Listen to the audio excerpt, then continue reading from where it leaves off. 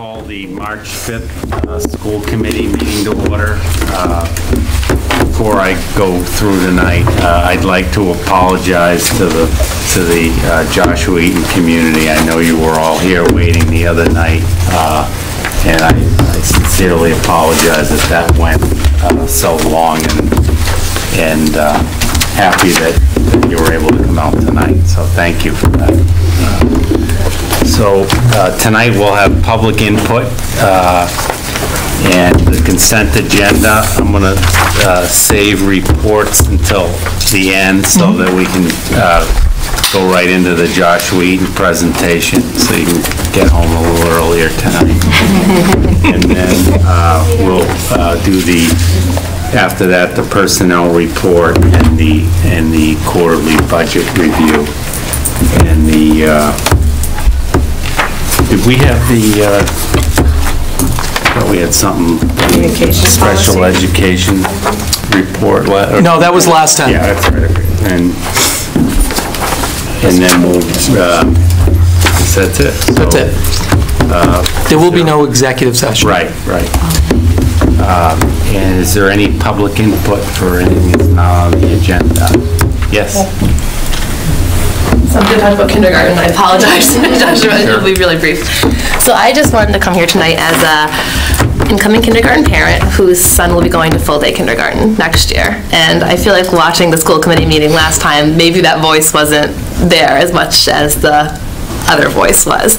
And um, I, for one, and many of my other friends who are also sending their children to full day last year, were actually pleased when we got our letters from the superintendent stating um, what the plan was.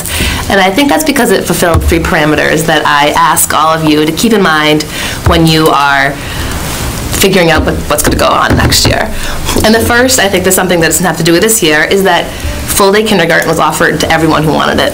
And in some forums right now, that's being looked at as negative, and in my mind, that's such a step backwards. Um, The push in education now is for full-day kindergarten. In the nation, it's for full-day kindergarten, and certainly in Massachusetts, it's for full-day kindergarten for, for all students who in some cases all students, and certainly for all students who want it.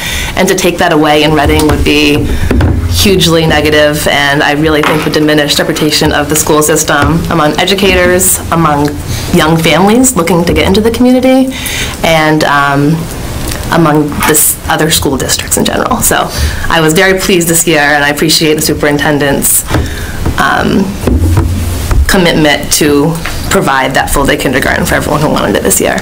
And the second is that it did keep class sizes at a reasonable level. I would be very scared for next year if my five-year-old is going to be with 24, 25 other kids.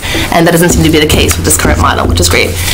And third, and this is kind of is third on my list, is that it is dedicated classrooms. This is my first experience with Reading Public Schools, but anecdotal- anecdotally, I've heard that the integrated model just did not work for a lot of people. So I know a lot of people who heard these rumors that, you know, integrated classrooms really are not the way to go, were very happy seeing that everything was dedicated. Um, And so I just want to um, push for when you are deciding what to do next year. I know there's a lot of emotional appeals, and I, that's going to be, it's hard doing multiple drop-offs, I have, I understand that, but really, you as a committee, your job is to do what's best educationally for these kids. And I don't think anyone can argue is that keeping class size low number one, is extremely important, and also, number two, keeping things integrated is best, I mean, um, keeping things in dedicated classrooms is best for everyone, full-day and half-day kids. So I just wanted to Great. say that. Thank you. Yeah. Oh, I'm sorry, was I'm so sorry. My just name's gonna Melissa Cataldo. I also wrote an email, I think, which is on the agenda as well. Thank you.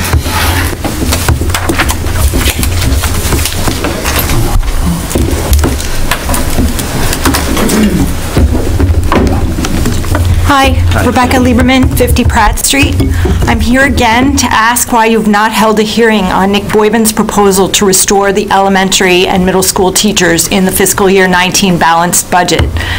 I got no response when I asked at the hearing last week, and I was wondering if you could please tell me why you will not hold a hearing on a proposal that makes sense for our schools.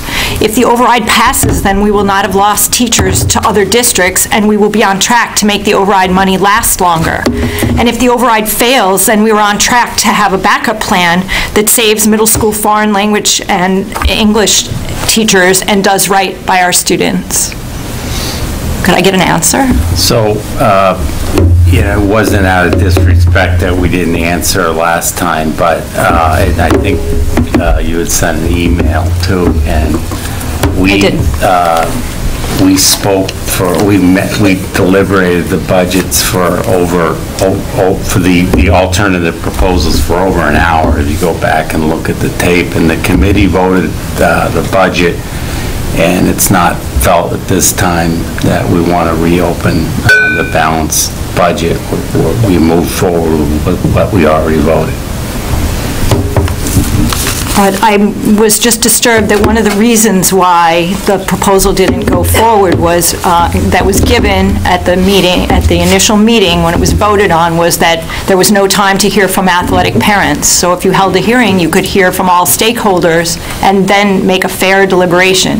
So we're also uh, uh, guided by the charter, and we had to have a a balanced budget to the town manager by a certain time frame, which we met, uh, and, uh, which was uh, February, or, or excuse me, January You actually, yeah, it was, it was 31st. January, yep. um, And uh, 26th. so, you know, when we start, we just, we, we're outside of that window. We have to follow the charter, and the committee voted a budget within the guidelines of the charter, and we just can't have another, But isn't the budget just a this- number?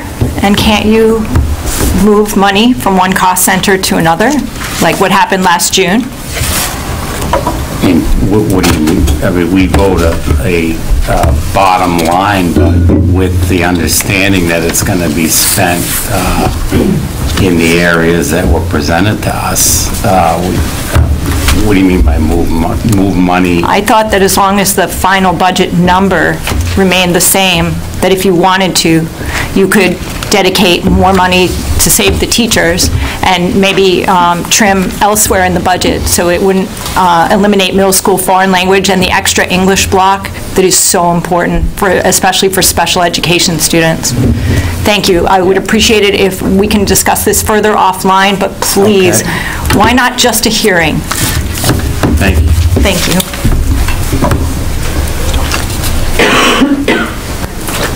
Any other public comment? Thank you.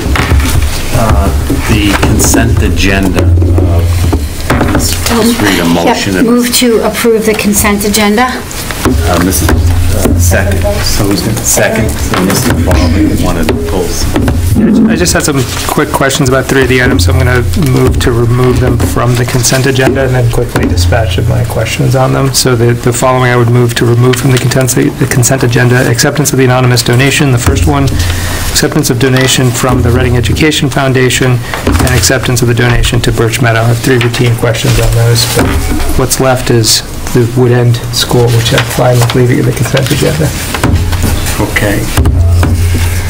So let's uh, vote on the consent agenda as amended. All those in favor? Six zero, okay. Uh, You want to ask any questions? Sure, just, I'll do the second and third one first, just very quickly. Um, the- I I didn't see in the packet, and maybe it's just the packet I I have, but the uh, donation to the Reading Educational Foundation and the donation to Birch Meadow, typically, there's a letter, if it's not an anonymous donation, attached with the memo from the superintendent. I didn't see those in the packet. I- I'm fine with accepting these these donations, I just, in a subsequent packet, my request would be that we could include any any letter from the source of of that. I think Arbella for the Birch Meadow and Reading Educational Foundation, obviously self-explanatory. Is in there. Did I miss it in the packet that I had? Maybe it was just shuffling papers. Well, there's one for Wood End, and then there's another one for... for Bur- No, no, those are the memos from the superintendent. What I want is the letter from the source... donor? From the donor, just for the public record to be complete, that's all. Can we get those on the next? Can we just fill those in in the next packet? I'm, I'm happy to vote for these, I just wanted to have the documentation consistent. Okay, so it's just a procedural question. So we'll add those to the, with- to the next Next packet and packet. kiss- consent agenda then. Yeah, and- and then on the anonymous donations, just a quick question for the superintendent. For me, On- on anonymous donations, I just typically ask for confirmation that we, uh, there were no other strings attached, that there there were no other, it looks, it looks like they're unrestricted funds, and I just want to confirm that. there- There are no strings attached. The only stipulation was that it goes towards the middle school social emotional learning. Other than that, there were no strings attached. Thank you, I'm ready to vote. Without So- the backup? So Yeah, no, that it be I'm- included in the next package? Yeah, include the Okay. two, well, the the anonymous donation I can accept right now. I So vote would I have a motion to, can you just, Yep, move to accept the anonymous donation, given the additional information provided by Mrs. Dowd. Uh, Second. All those in favor? Six zero? Do we want to move the other two to next packet? Yeah, the, when, with the, when the backup materials in the next, they'll go in the next consent agenda. Sounds good, thank you. Okay, so, yeah, Just, uh, no, I think, just as always, the committee thanks all the donors um, and for for their donations, and we appreciate it and recognize that most of the organizations that are actually receiving donations then also thank those donors and acknowledge those donors. So the committee here, we just do that as part of our consent agenda. But um, I believe at some, one or twice a year, we review all of that as part of our budget process and um, are deeply appreciative of all the addi- of the additional donations that come into the district to support our students. And the, uh, just, just to highlight, just this anonymous donation of 12,000 for the middle school i- is really spectacular and, and much appreciated and very substantial, so thank you to whoever you are. thank you. Mrs. Ippolito.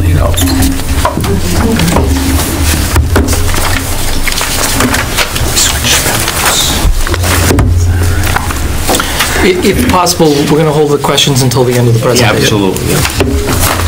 Thank you very much for having me back this evening. I'm excited to present everything Joshua Eaton. Um, I first want to recognize uh, my staff members who have come out this evening. Um, Not only are they dedicated, you know, between the hours of 8:10, 3:10, but literally 24/7. So um, first is Jamie Quinn, who's a second grade teacher, is also my vice principal. Marie Kiley, grade two. Susie Libby, grade two. Michelle Callan, grade four. Ann Nana, kindergarten. DJ Cook, grade three. Phyllis Green, grade three. And Brittany Kurtz, um, learning center teacher. So thank you guys for being as well. Okay, so I'm going to review um, some of the information we previewed during um, the October presentation, but we've continued to make um, strides towards our goal, and so I'll just do some updates. So the first school improvement goal is around continuing to improve student performance in ELA with full implementation of Readers, Writers Workshop. So some of the action steps that we have taken is um, looking first at the materials that our staff has to make sure they have the right materials in order to um, teach the les- lessons um, to efficacy. And what we did find was that our special education department um, didn't have all the materials. So, so thanks to central office, we were able to purchase those materials um, so that every teacher has their own um, teacher guides for our Readers, Writers Workshop model. We continue to work on unpacking the different lessons um, to really make the connections between the Massachusetts curriculum standards and the lessons that are put forth through the Lucy Calkins Readers and Writers Workshop. Um, The teachers continue to work together, both special ed and regular ed, to collaborate so that we're reaching the needs of all of our learners. Um, Let's see, we, um, this year, we've moved towards um, assessing three different areas um, in the area of written language, which are narrative, opinion, and informational writing, um, and higher grades persuasive uh, writing. And so um, we've been collecting that data and looking and really using the rubrics that come with the program to look at students' growth over time in many different areas around uh, written literacy. Uh, We use the benchmark assessments, uh, the third edition, to track our progress, and I'll be sharing some of that exciting um, data with you shortly. Um, We've been doing work, we've dedicated all of our staff meetings this year to literacy. So we've done um, everything from reviewing to make sure that we're implementing the Fountas and Pinnell benchmark assessment system um, consistently among every grade and every teacher. So we've done a lot of work um, around that. We've also looked at the ELA standards, and we're taking one domain at a time and really unpacking it and taking it apart and to say, what are the sub-skills of these standards and what does that look like vertically? And so as a team, we've created a document that we've shared K through 5 so that every teacher has this document so they're, we're able to see like, where have the students been? Where are we going this year? And where are we going in the future? And that's been really helpful to our um, teaching and our interventions that, um, that we've been using at Eaton. Very proud to say, every single teacher, whether they're a specialist, special ed, classroom teacher, we've all have shared goals around literacy, so we're really working as a team together. Um, We also have Mystic Valley Elder Services, um, and we have currently three um, Mystic Valley readers who come in and they focus on K, grades K, 1 and 2, and they come in and they have kids read to them, or they read to children, and it's been just very beneficial in our classrooms. Uh, Research says that the only, uh, the best indicator of growth in terms of reading and comprehension is when kids are read to um, or uh, are read with. So we're excited about that. Uh, The district has provided some great professional development around Writers Workshop. We have Beth Moore, who's been coming in, and Maggie Roberts, Um, and they uh, work with two different cohorts, either grades one through three or four, or five, and the teachers have given a lot of great feedback um, about that professional development. Um, And we've just been working together, we call it data dives, and most recently, and I'll share some information, we had a kindergarten data dive last week. This was our second round where we really um, did exactly what sounds like. We really looked at individual students, who are our struggling learners, what specific skills are they struggling with, what specific interventions are we going to create to support them, Um, and you'll see more of that as we continue on. So this, um, one more cleaner route this time to demonstrate some data here. And so basically, this chart shows, um, a request I got last time was comparing the data from last spring to current, um, to uh, 17, 18. And so kindergarten um, begins their first Pinnell benchmark assessment assessment in December. And so what that data shows up there is that 59% of our students in December were meeting expectations or better. Because they don't, they weren't here and they didn't take the assessment in the fall 2017, that's why it's a grade box. And then when we move down to grade one, um, last year when these students were kindergartners, 40% of the students scored meeting expectations at the end of the year or better. That same cohort moving forward of students in the fall of 2017 was 67%. And currently, um, that was the January, so there's actually been more growth made. So these, I just want to be clear, for first through fifth grade, these numbers are January numbers. Um, 78% of the students were meeting uh, the expectations or above grade level. And it continues. So grade two, at the end of last year, 51% of the students were meeting expectations. In the fall, it was 63%. And currently, as of January, it was 82% of our second graders were meeting or exceeding the expectations. Grade three, was 66% last spring. Um, Coming into the fall, it was 61% of the students, and currently it's 62%. And I'm going to talk about that kind of shift. Um, Grade four was 31% as third graders. In the fall of their fourth grade year, was 47% of the students, and currently 56%. And uh, lastly, fifth graders, last spring, 69% of the students were um, meeting expectations or exceeding. Um, In the fall, it was 63%, and in the winter um, benchmark, it was 68%. So kind of clearly, looking at this chart, you can see from grades K to 2, you can see almost an incline, a steady incline. And that's where, when we talk about it in the most simplest form, it's when students are learning how to read. And so by the end of second grade, uh, or not the end of second grade, but winter of second grade, you can see that we're at 82%. And a lot of that work is on a very literal level, kids learning how to read. And then once students enter third grade, that's kind of where a shift happens, where the shift is now uh, reading to learn. Lots of comprehension, higher level thinking, depth of knowledge. And so I think uh, if I had to hypothesize and look at the data and look at the students, hypothesize that that's a shift for students. And so we take a couple of, not a big dip back, but a little bit of a dip back. Um, And the depth of knowledge increases grades three, four, and five. Um, I added this slide in because this is new data from our data dive from last week. Um, And I have to thank Stacy Kress, our reading specialist, because she pulled this together for me. And basically, um, this chart shows at the same time last year, in 2017, um, we had um, six students exceeding kindergarten expectations. And currently, at the same time this year, we have 21 students. So when we look at those numbers, you can see it's almost like a complete flip-flop from this time last year compared to this time this year.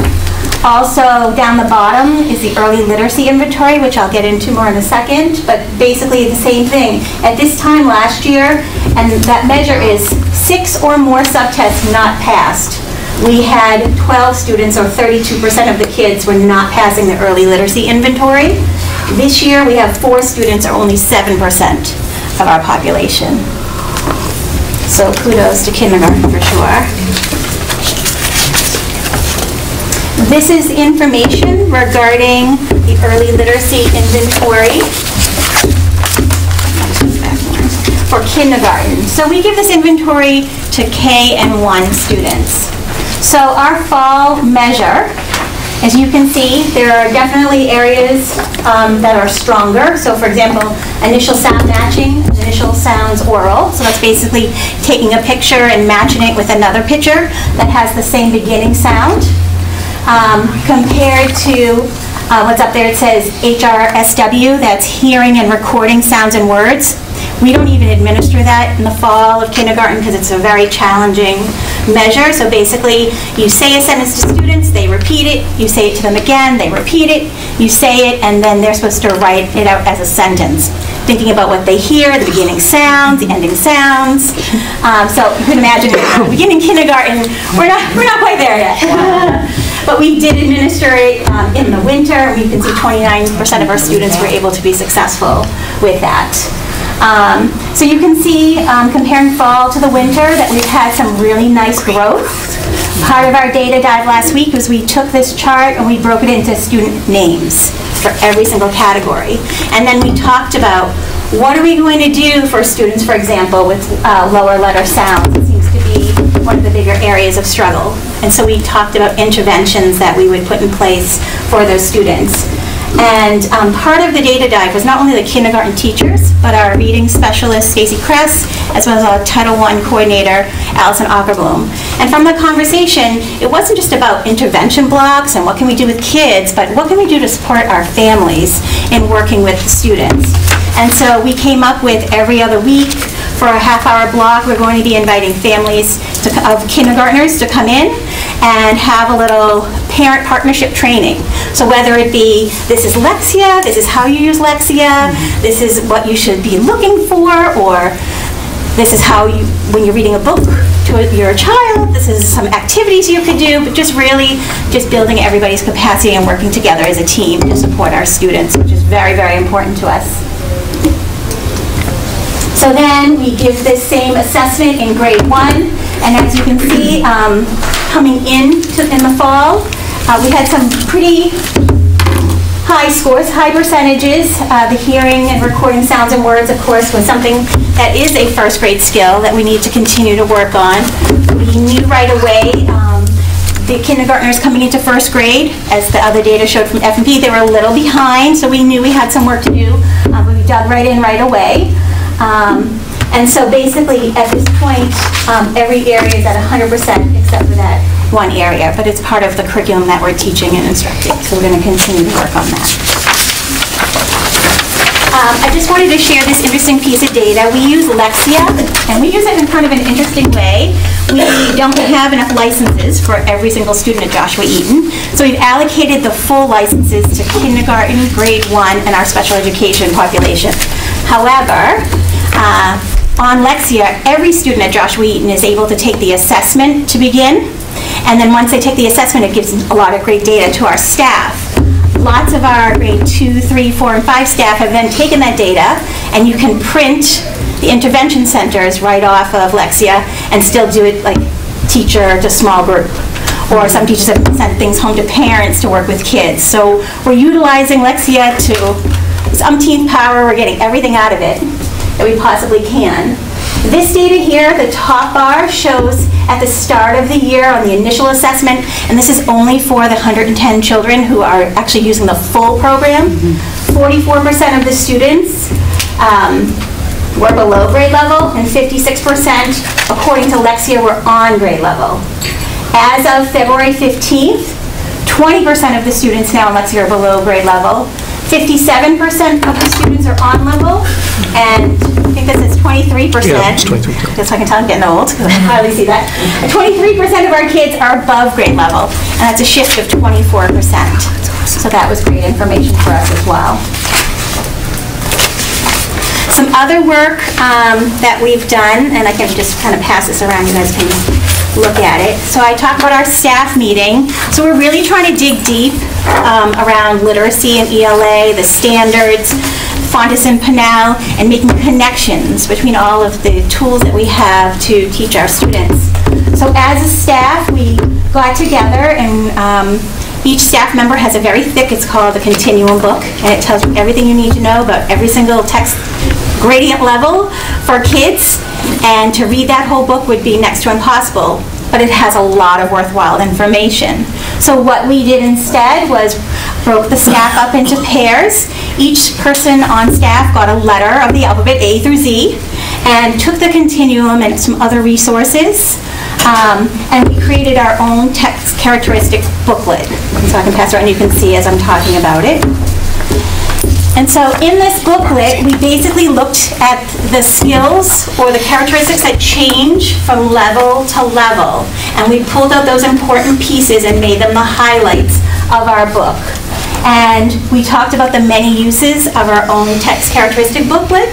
It could be at a parent conference, you're talking to a parent, uh, parent, and we're very cautious, and we want to say this again, children are not levels. To say a child, you're a B, that's not um, terminology we use at Joshua Eaton. We say your child's reading behaviors are, are that of a level B, and here's why. And we use this book to say, here are some behaviors that we're seeing. Here are some areas where your child might need some support. You could do this at home. We also use this um, booklet during our SST process. We're talking about kids, okay, they're struggling readers. How are they struggling readers? Um, and also, it helps us to see vertical alignment, or what are the, what are the skills? How do they build upon one another in reading? Um, and also, uh, we made sure that on each page, the visual on the page is an actual sample from a book at that level. So it gives you like more in-depth opportunity to see. Okay, goal number two, communication. So, um, how does Joshua Eaton communicate with its families, its community? Um, We've been working really hard to update our website. If I'm being honest, I'm going to tell you, I'm going to probably take the whole thing down this summer and rework it because it's not the easiest thing currently the way it's set up for, for me to personally navigate. But it has a lot of great information on there. We have our school council notes, our minutes, um, information about MCAS, report cards. Um, and sometimes parents will say, hey, you know, I can't find such and such, and we direct them, and it's um, a great resource. Um, Also, um, we have one of our teachers, our first grade teacher, uh, Kelly McQuillan, we've made her our social media director. And so as we take pictures, we send them all to Kelly, and she puts them up on Facebook, along with Miss Quinn and I, the three of us, uh, try to, you know, show all the excellent things that are happening at Joshua Eaton, and we get lots of responses, and it's uh, lots of likes, and it's really cute. Um, If I'm being honest, I have the Twitter handle. I'm not the best. I'm so busy, and it's making me upset because I love Twitter, but I'm not as active on Twitter as I'd like to be. So that's still a goal of mine to continue doing that. And of course, we have the Jaguar tra- uh, Jaguar tracks, which I'll show you a sample of in a minute. Um, Our goal is to promote positive news about Joshua Eaton. We actually had Channel 5 came for our Veterans Day assembly. Um, That was exciting, lots of talk about that, and um, we feel very honored. Um, You you all probably know him, his name's Dave Maroney from the Chronicle. Like, I can call him and he will come over, I don't even have to call him. He comes over and he gives us good press in the Chronicle, so we're happy with that. Um, And we actually created a bulletin board called um, uh, Joshua Eaton News, Student News, and so we- every time we see one of our students or our families in the paper, we cut it out and we put it on the bulletin board so they can see, and we can all like support the positive community, not just within the walls of Joshua Eaton, but also in the community of Reading itself. Um, Supporting parents in their overall understanding of school policies, procedures, and issues through monthly form, the Parent Cafe, and I'll talk about that in a minute, and provide staff training using the Portal Plus. So in September, Kathy Santilli, our elementary tech integration specialist, came and she did a training with our staff, and we're continuing building using the portal. Um, And then we actually have a communication plan that I can't take credit for, it was developed before my time, but we reviewed it um, through our school council and approved it and made some slight tweaks. So here's an example of our Joshua Eaton tracks. What I love about the tracks is that it's um, a collaboration between so many different people. The PTO, our school nurse, myself, fundraisers that are happening, and we try to make it the go-to station for all of our parents. So they're not going through a bunch of different papers. If they need any information, it's in the tracks. And I try to do most of my communication, unless it's grade level specific, through the tracks as well. And we have two parents, uh, Liliana Stoddard, and I think it said Evie Young? Evie Young. Evie Young, um, who actually create this every week for us. Amazing. Oh, there's um, our, some of our bulletin boards for school news, where we, the office staff, uh, Joy Pippi and Amy Greco, they put, mount it, and uh, Joy Clark for that matter too. They mount it, we put it up there nice, and the kids get a kick out of seeing themselves in the news throughout the school. Um, The Parent Cafe, these are some of the topics that I've presented on. Um, January's blank, because I was here. I had to cancel in January. Um, Upcoming in March, um, parents have requested some more information about what does the actual MCAS test look like when kids take it. So I'm presenting that um, in two weeks to uh, the Parent Cafe. And our PTO provides coffee and a light snack, and it's, it's fun we have a good time. And uh, Dr. Doherty came and discussed budget uh, in November, so we have guest speakers as well.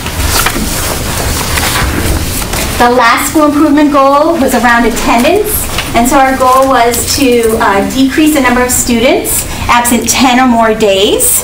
Um, At the end of last year, that amounted to 87 students who were absent from Joshua Eaton 10 or more days, which was a jarring number to see.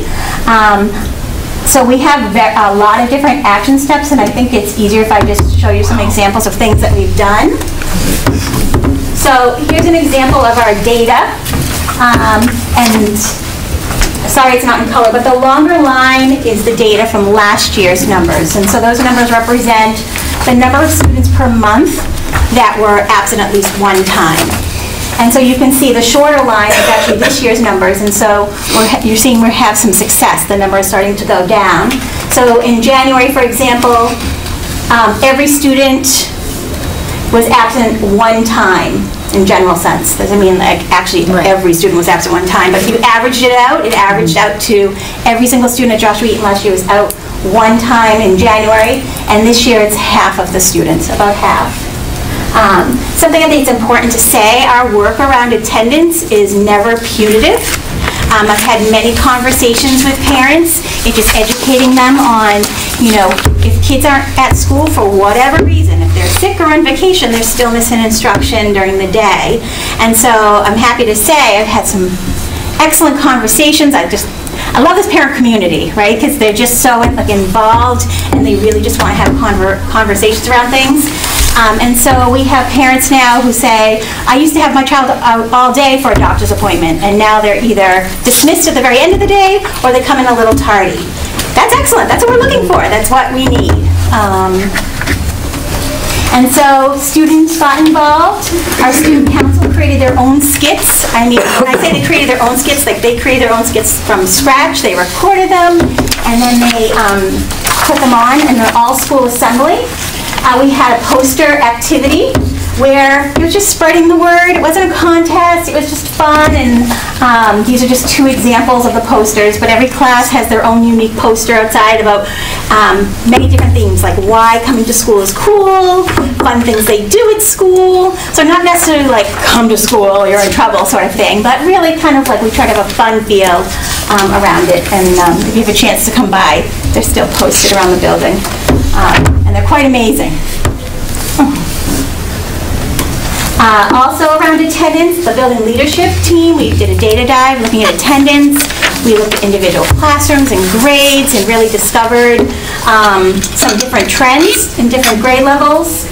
Um, The school advisory council also, we talk about attendance, we get uh, lots of different perspectives, because of course we have three parents on our school council and three staff members, and have some great conversations.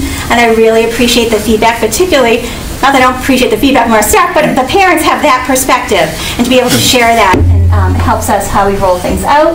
We talk about attendance in the tracks. Um, For the beginning part of the year, I was putting just the average percentage of the month for attendance, and our goal was around 98%. Um, For families whose children have five or more absences, I send a letter um, with with the law, just to inform parents. Um, I think that's important, to keep parents informed of the regulations. And um, if there seems to be like a trend, I make the phone call to the, to the home. And that's, again, not punitive, but I just want to make sure everything's okay. Maybe they need assistance, do they need our- to talk to our nurse? You know, is there a transportation is- issue, or are they away? And we just don't know it. Um, So I take that responsibility very, very firmly. Um, And so, spreading the great work, this is Mr. Magazoo, our new PE teacher. They had dress-up day, and they dressed up like Mr. Magazoo, so. Um, And, you know, my very first presentation, I talked about uh, Joshua Eaton is looking at the whole child, and everything that we try to do is around the whole child. So um, these are just examples of some of the things, um, not all of the things, but just some of the things that we have done at Joshua Eaton. So we had our first ever family fitness night that Mr. Magazoo pulled together, and we had over 75 families come and do like a little workout. It was done in two shifts. The spelling bee, um, that was run by um, Ms. Quinn and Christine Lusk, our co- my co-chair for the school council. We just finished our very successful readathon, where students read over 200,000 minutes. Amazing. Uh, We had an incoming kindergarten presentation, where we invited all incoming kindergarten parents from the entire district, and we had about 70 people who attended. Um, And that was pu- put on by Mrs. Manna and uh, Mrs. Cornetta, another kindergarten teacher. Um, I won't, re- I won't read through everything. I think I'll jump around a little bit. We had the STEAM assembly for the very first time, and Rachel Hitch, who's one of our PTO parents, brought that in. She and I had a, I was so excited when she said it, because my STEM background. Um, We brought that uh, group in, it was amazing. Kids were talking about it. I got so many parent emails about, this is the best event ever. Um, And then I can't say enough about our PTO. The Joshua Eaton PTO is amazing. In the Halloween The ice cream social, the book fairs, and just their all-around presence every day. At Joshua Eaton to support us and help us with whatever we need. Is so, so impressive. Um, So I just wanted to say thank you to all of you for all of your support, and of course to um, district administration, but particularly to um, the Joshua Eaton teachers. I have to say, like, I'm eight months in, and I'm loving every second of it. This is such a dedicated group um, who are, you know, stretching themselves and pushing themselves and working together, and I couldn't possibly ask for anything more. And this is the way we feel about Joshua Eaton. It's a great place to be. So, thank you.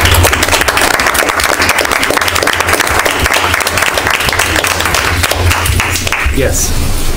I guess I just have a general question. Sure. So, I mean, there's a lot of really um, amazing results, and and maybe there's some data that we could ask a few more questions, but more broadly, um, you know, you've got some great, um, great trends, whether it's attendance or the reading, but, but what do you think the uh, challenges are between now and the end of the year to make sure that those trends keep going the way you want them to go?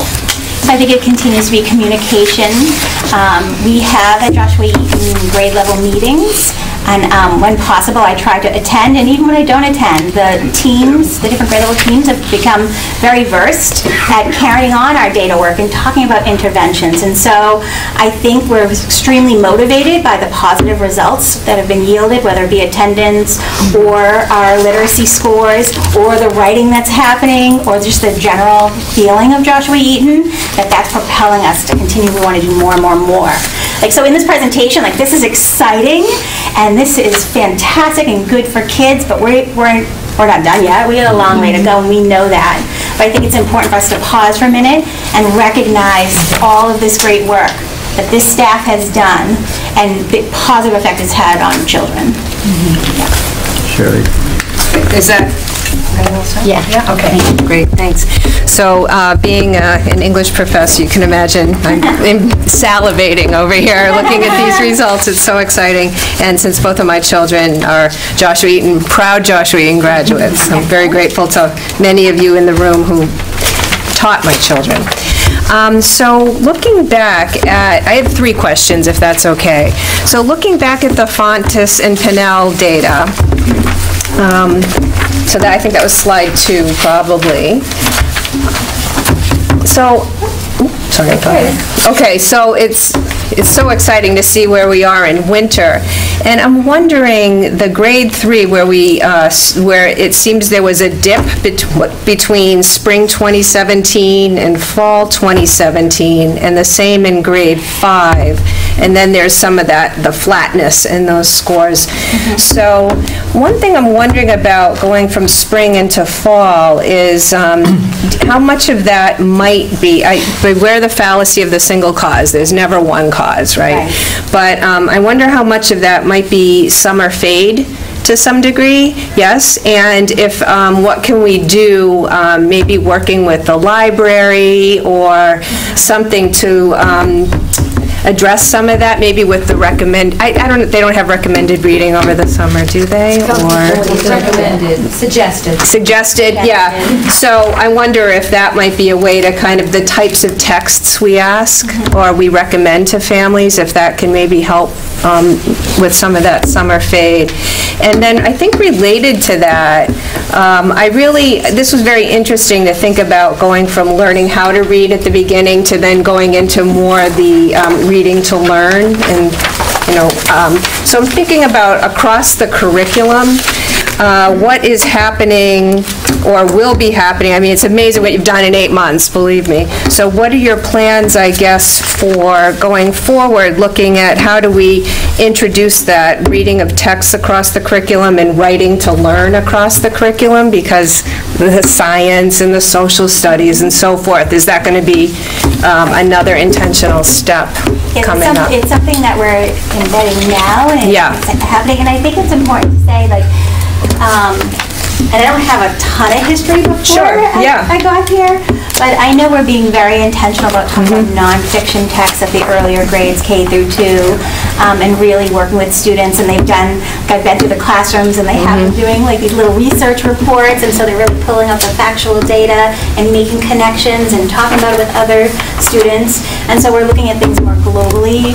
We're also looking at the speaking and listening aspects Right. of literacy, um, and what does that look like, and just trying to get a, a- a broader picture, and not just being about how fast can you read, Yeah. right? It's like kind of bringing in all those pieces.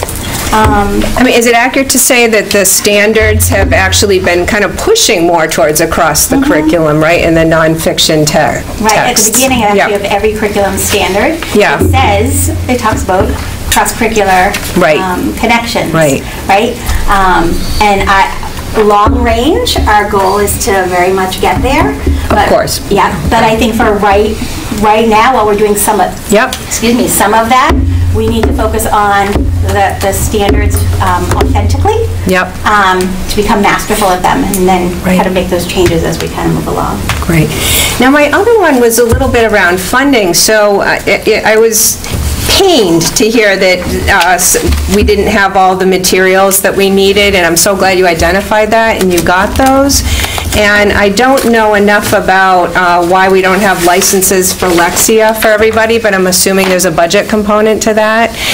And I'm wondering if there are any kinds of, this probably can't be answered tonight, but since it's a Title I school, are there any opportunities for state grant money, or um, what can we do to try to get greater access, if that would be helpful to the children? Yeah, thanks. Do you, is, yeah, I don't know if you have any ideas about that yet. So the Title I Yeah. funding, we have already written the grant for this year, and it goes to staffing. There Yeah. is a small amount that goes to PD and um, materials, but most of it is, a- is a staffing piece. So it's already written, we can't access that funding for something else. Now, yeah, I, are Correct. there other opportunities you think down the line? There are not other state or federal funding sources. It's, you remember from the budget process, do. those sources are disappearing quickly. That, that's quite sad. We get very little. Yeah, we get very little to begin with. Thank you. So I don't know if this might be a question for Dr. Doherty. Uh, A while back, uh, when we were just starting to to do things at Joshua Eaton, we talked about building a, almost like a template for all the elementary schools, so everybody was doing the same thing. Do we have these, I'd be curious, not tonight, obviously, but kind of compare the other middle, uh, elementary schools to see where they are? with So some of the things that Joshua Eaton is doing, we have not put in place in the other buildings yet. Is that the direction we want to go? Yes. Yes, absolutely. So I had some questions about the, um, just Fountas Pinnell. Uh, So help, help me understand something. So the, when we do the parent teachers for our kids, we get, it here at at Birch Meadow, we get a a worksheet and it has the letters, Fountas grade, like assesses, benchmarks. Yes. uh, reading. And you had a nice handout here. I hope, I hope people can access that, that i- if possible. But you passed around a handout that had for every letter, A to Z, um, what a student can do at that l- behavior level for reading, starting from kindergarten all the way up through, I think, sixth, Sixth sixth grade, grade, right? yes. And A is the earliest, and people progress to Z. So just to get everybody level set. It wasn't familiar to me until I started reading it. Uh, So here's where the, the- my question is, uh, the, the handout that I got from our school here at Birch Meadow, and I assume it's the same one that we use in all our elementary schools, it just, it has brackets for A through, you know, first kindergarten range, Yes. first grade range, et cetera. Yes. So when I compare those brackets, what is a first grade range, a second grade range, et cetera, and it's different than what I see on their website for Fountas Pinnell, right? And so what I see on the website basically is that early on, I think there's four different letters for kindergarten on the website, and then six different letters for first grade, which makes sense, because people are coming from all kinds of backgrounds into first grade, learning how to read. And then after that, on, on the, kind of the, the version on the website, it's three letters per grade, second, third, fourth, fifth, sixth, three letters each. I, I found a more permissive standard in, in the, the Reading handout. And, and by permissive, I mean, even after, and I don't have it in front of me unfortunately, but e- even after first grade, second, third, fourth, there were more than three letters that were permitted at each grade level. And so what I'm wondering is, when we say, and pick any number on our slide here, when we say a student is reading at a grade level, mm-hmm. does that mean that that student, to be counted as reading at grade level, is reading at at least the lowest level for the bracket in the Reading handout, or that they're reading at the lowest level in the standardized version we see online for Fountas Pinnell? Great question. So can be um, a little bit hard to understand.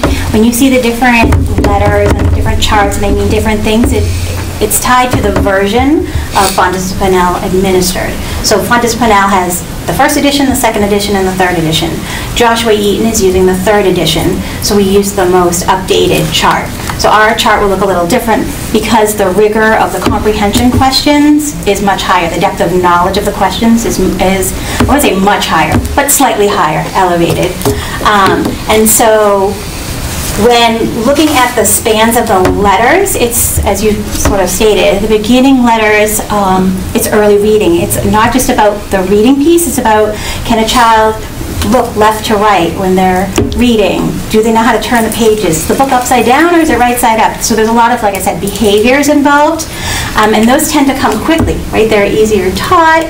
Um, Lucy Calkins herself will say, children are rarely at the levels A and B for very long, and if they are, then they need intensive, you know, uh, interventions.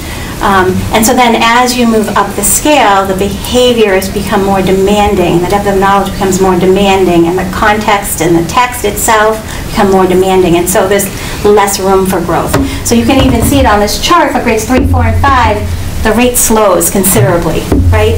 The percentages between the numbers is much less, and that's partly not only the shift of reading to learn, but also digesting all that information and taking it and connecting it to yourself, somebody else, and the entire world. It's kind of the purview of it. Can I ask a follow-up? Sure. So just a quick follow-up. So are the, the assessments that, or the benchmarks that we do on Fountas Pinnell consistent with kind of the latest version of, nationally, of what anybody using this benchmark, any district in the country, so a student did a letter, if we say, I did, you know, pick a a grade here, just pick, let's say, grade three, and we say a student is at grade three, mm-hmm. the minimum letter that would be considered grade three in Reading is the same minimum letter that's grade three anywhere Yes. else using the It's same For third edition to third edition, yes. Correct, okay, so I just want to make sure that's Yeah. consistent, because I've heard people bring this up. Right. And I just wanted to ask the question, make sure we could all understand it. Thank you. Dr. Dexter? Oh, it's in general, Yeah, but then, I'm set on yes. Oh, I'm sorry, Carol. I just didn't. Sorry, oh, sorry. No, we were just clarifying that the third edition is at Joshua Eaton. We don't have that for all the other elementary schools. Okay, so just Joshua, and the other elementary schools use a The second edition. Second second edition. edition? Okay, so there, people wanna may make sure notice that's clear, yeah. if it's there. I have a couple of questions. Thank you very much, and thank you again for coming again. I'm sorry that you came, and your days are long enough, so your efforts and devotion is really appreciated, all of you. Um, Thank you. um, One of my questions is, thank you, Ms. Webben, for those questions, because not having, I'm not really familiar with the Fountas and Fount- Fountas and Pinnell Yes. program, so it's really helpful learning more. One of the things that I've heard from teachers is um, that sometimes programs come and go, and it's really hard, working hard to learn a program and then having it be gone. And one of my questions was just about the longevity of this program. Do you foresee this? uh, The sense I got is that this is going to go into other schools and beyond. It's not going to be here just for a short, short time, and then we're going to be looking elsewhere. But I just wanted to Right, uh, This Right. is, this is the gold standard, to me anyway. how I We've been using this. Yeah. We've been using this. Okay, and, and we will be using that, that's We- We've been really using my it for several question. years. Yes, And it's here to stay. yes. Thank you. Um, And the other thing you mentioned, which I was thrilled to hear you mention, is the Mystic Valley readers. Yes. Because I have heard from people that are the readers going into your classrooms, and they can't say enough about your teachers and about the kids, and they forego going away during the winter in order to keep their, their commitments. Right, they're so Um, wonderful. And, and it gets seniors into our schools, and, and one person came up and said, I want to get this into every school, I, and I can find the money across my friends, we all want to do it. And part of my question is coming from, how do you manage this? The management of that kind of a program, bringing people in, training them, because reading to kids is not always the same as it was Right, exactly. years and years ago, mm-hmm. and supporting kids in reading is not what it was years and years ago necessarily. And so, how do you manage doing that training and, and support, and, I don't want to call it disruption, but shifting your classrooms around this program? And is this something that you can mentor? I don't, are they at other schools? I didn't think they were. It was only Joshua I think it's just Eaton. Joshua Eaton right now. Um, So how do you manage it? And do you see down the road being able to man- mentor other schools so that we might be able to have these resources? Absolutely. We all, in. all the elementary principals, we love to share with each other. Like, we steal each other's ideas all the time and activities that we're doing, so definitely, if that's uh, a want of the elemen- elementary schools, we'll certainly share. An ironic twist of fate, the um, supervisor for the Mystic Valley Readers is a former colleague of mine, and I didn't even know that. She came to Joshua Eaton to meet with me to talk about um, Mystic Valley Readers. Her name's Linda Cornell, and she actually gets credit for training the Mystic Valley Readers. And so we meet, we talk, what are the goals of Joshua Eaton for having the Mystic Valley Readers come in? Um, She helps set that agenda with the readers. Uh, We actually want more, more, more, like we're kind of being selfish. We start, last year we had two, this year, we- uh, initially we had four, and we're down to three, Um, but we would love to get more readers uh, into the building, because the kids love when they come in so much too. It's almost like they're fighting over them. And the teachers, um, most of the teachers invite the readers in, like we created a template of a schedule, so the readers will come in during an intervention block, so they're supporting during that time, or during the actual reading block itself. So we have organized it that the readers are not coming in during like, like a math block to do reading. Like we try to have everything have a nice flow during our day, the best interest of our kiddos. Thank you. And then my other question was, I love what you're doing with the parents in terms of having, coming again at night to support your parents, to give them, help them develop the strategies and tools to support their kids, because there's a lot expected of our kids now, and this is a mantra of mine, and people know it. Um, So I look at your data in kindergarten to first grade and how you go from potentially 24% to 100% when you're talking about concepts of print to kindergarten to first grade, and I think that's awesome. Um, How do you manage the expectations of parents around, and I'll include myself in this, because I was one of, I, when my son didn't read by the end of first grade, I was like, um, you know, what's this? And my teacher, Pam Chomsky Higgins, said, he's got the readiness skills, just back off, let him develop. And the next year, he was reading Tombs. It was just him being ready. Right.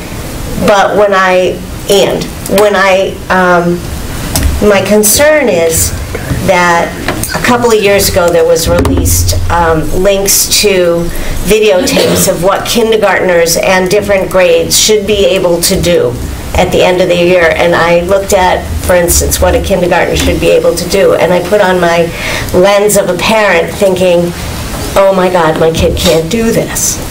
And, and the panic that if your kid can't do that. Well, at the end of kindergarten, your child might not be able to do it because they're just not ready. Right. And, and the bar has been raised in our kindergartens.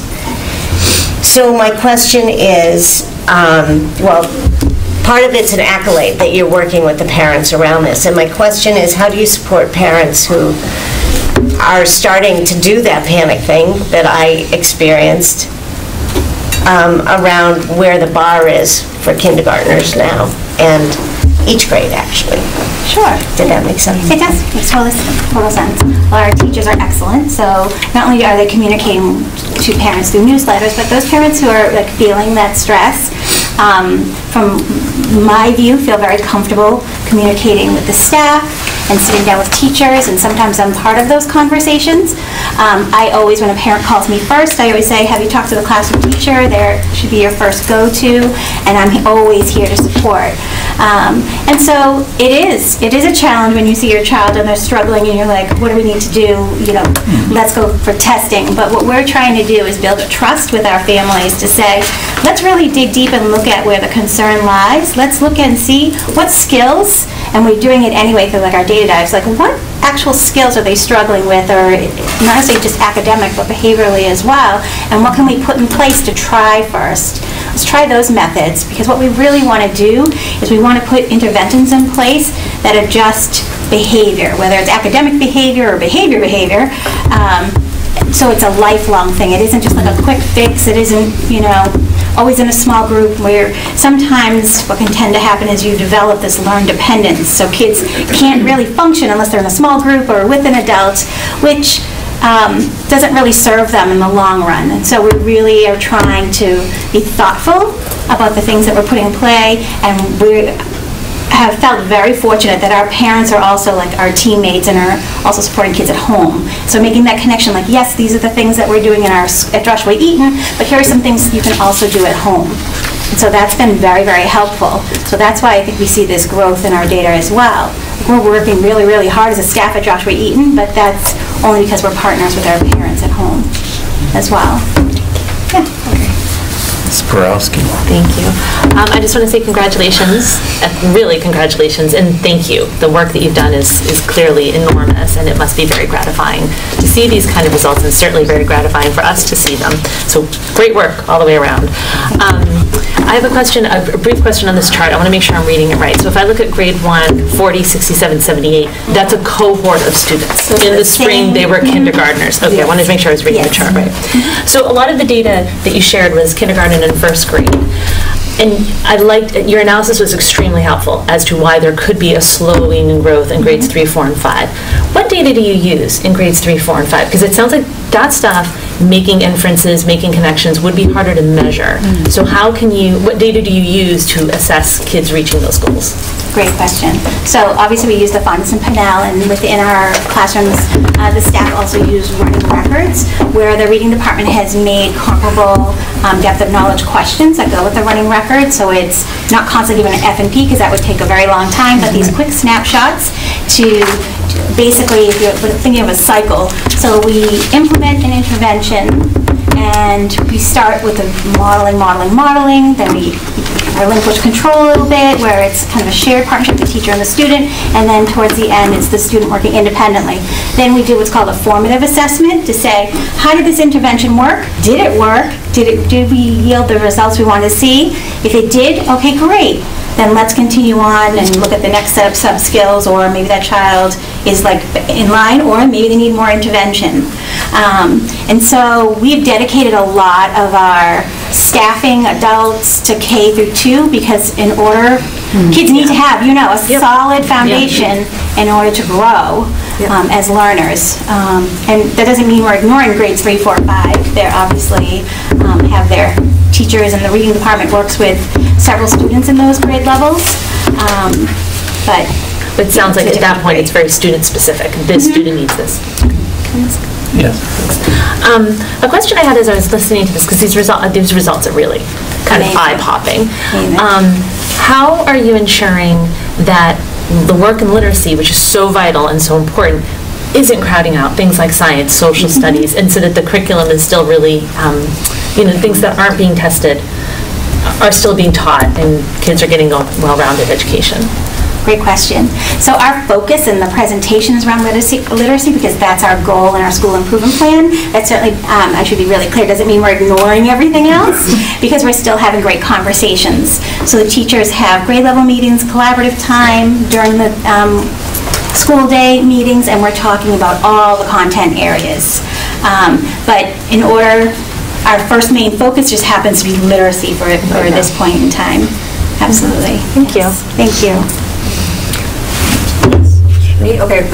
Okay. This is a quick question. So, um, we can't be certain of this, but I'm wondering if this um, even more effective work on these early literacy skills means that when the kindergartners and first graders now get into three, four, and five, if um, we'll see some of those higher numbers as well, that, that it will filter up. That's our hope.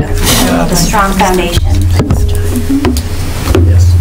So, again, turning to this chart, um, what, how many students are being assessed in each grade? Is it 100% of the students that are represented in this graph? So for, I can speak to fall 2017 and into 2018, it is 100% of our students, regardless whether they're in general ed or special ed. Um, Yeah.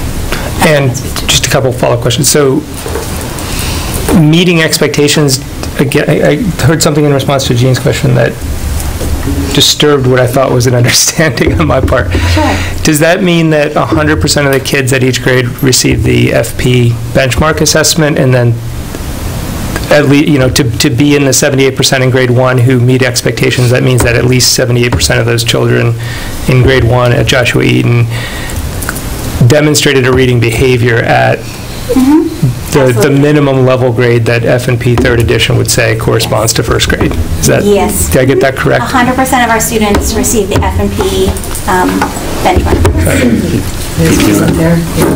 No, I was just gonna say, I think what you're saying, so like for second grade, right, it's J, it starts beginning of the year. That doesn't mean they've hit J, that means they hit where they're supposed to be for that time of year. So it's not that they're just within the spectrum, they're where they're supposed to be at that specific level, which is only one letter level. So it's a threshold inquiry. Did the student meet that level of behavior? And That's then it's a check, they're in the 78% for first grade, for example, on that chart. And they Okay. still might be reading, like you always say too, books that are below and above, but they- that's, they, they hit that benchmark for the fall, no. And then one, one last question, just, you mentioned special ed. Um, When we look at the different subgroups that we have, and it's not just special ed, but there's all different ways of looking at a student population that, that DESE has. When you look at, you know, this is very good that we have 78% and 82%, but it's not 100%, right? Um, Can you speak to how well the students in the various subpopulations are doing? And if you know, what are the subpopulations that you're still working on, on helping bring to the level you'd like to see everyone at? Um, Well, I think on this to make sure I. Yeah, it's a broad the way- question. You the can way just start with special ed remind if you want, but work your way out, right. yeah. So, um,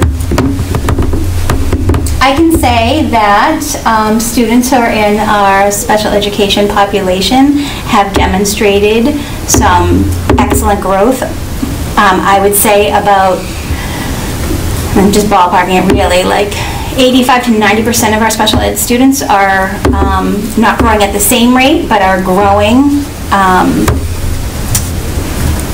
are growing in their learning and understanding. So it's hard because I don't, I want to be just very careful how I answer the question because I don't want to create any confidences. But- Um, So, and thinking about all the different subgroups, like, we know who the students are who are the, the what what would it be, 22%. We know who those kids are, Okay. and they're from various subgroups.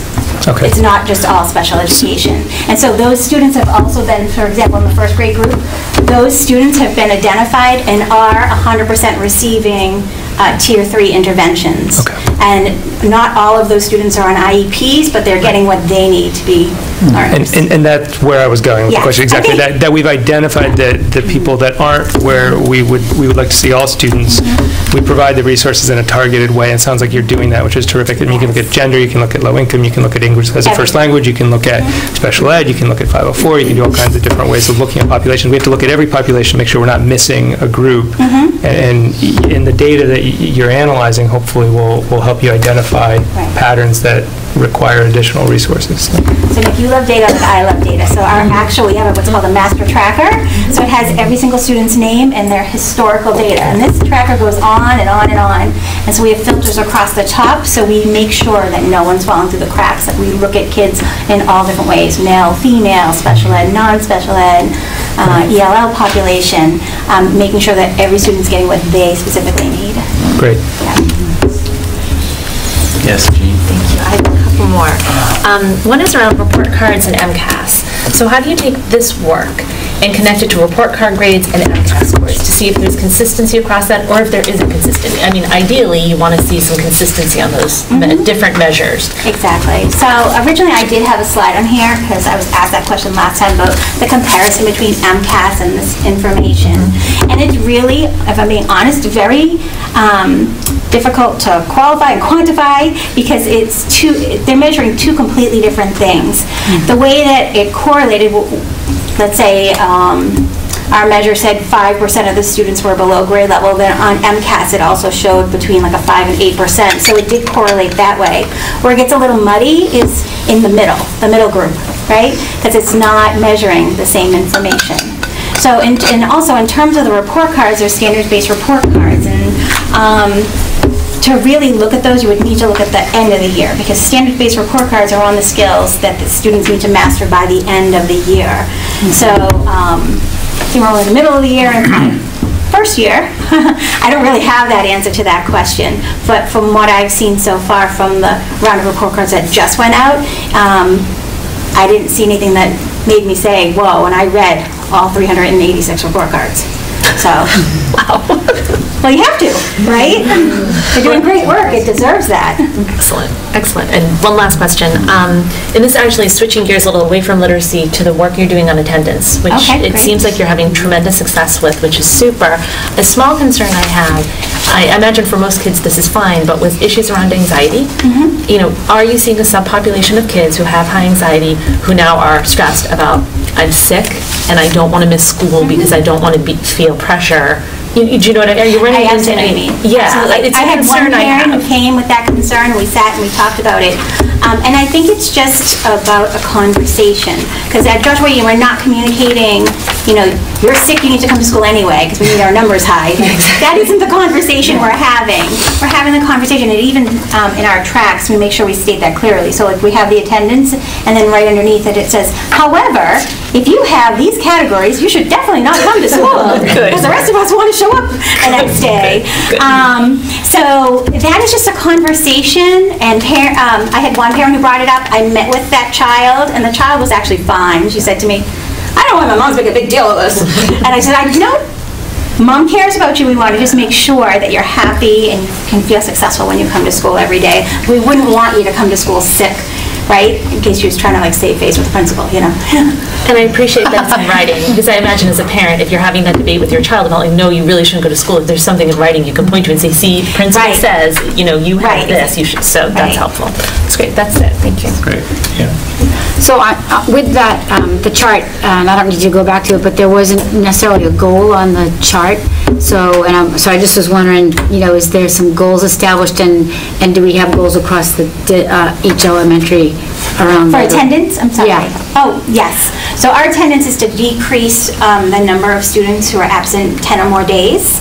And at the end of last year, it was around- roughly about 87 students who were absent 10 or more days. Okay. And currently, we're at 12. So Okay, right, right. It's, the- I didn't see it on, there's no goal on this chart. The data, the way the data is presented on the Oh. chart, that goal doesn't really translate to that Translate to that. chart. You're right, you know, you're 100% But the goal is correct. up here. It's up there, right. And to answer your question, it's, it's school-specific, so some schools uh, do not have an attendance goal because they don't need to have an They- attendance goal. Right, because they're, Right. they- they've got other things. Right. right. Don't, don't fix what's not broken. It's a quick one on attendance. I assume we're tracking the number of students that prorated. I don't know what that is at this point, five or six days. So you mentioned 12 who were under 10, I assume. Mm-hmm. It's a, Yes. not too much of a larger number that are, I don't know, where if you prorate the number of days in the school year to the number of days we've had so far, I don't know if that's a six or seven or something around there. but Uh, Roughly we're on around track. there. Yeah, so Yeah. um, Amy Greco, my secretary, every Friday, uh, we have a binder that we keep, and she prints me the roster. Yeah. And on the weekend, I take it home with me, and I go student by student. You're on it. Right. You got it. So the, the broader question I had is, is my actual question here. So, yeah, we, we've had, you know, a long kind of storyline with Joshua Eaton, with this committee, predating me, um, around concerns that were originally related to state assessments. And I understand that this is an, an update on the school improvement plan, and you've done that. You know, we, we've identified in that plan literacy, communication, attendance, and you've addressed each of those. And, and I know that the- the criteria by which that level three occurred, that MCAS 1.0, doesn't exist anymore, right? We have this MCAS 2.0, and we had PARCC for a year now.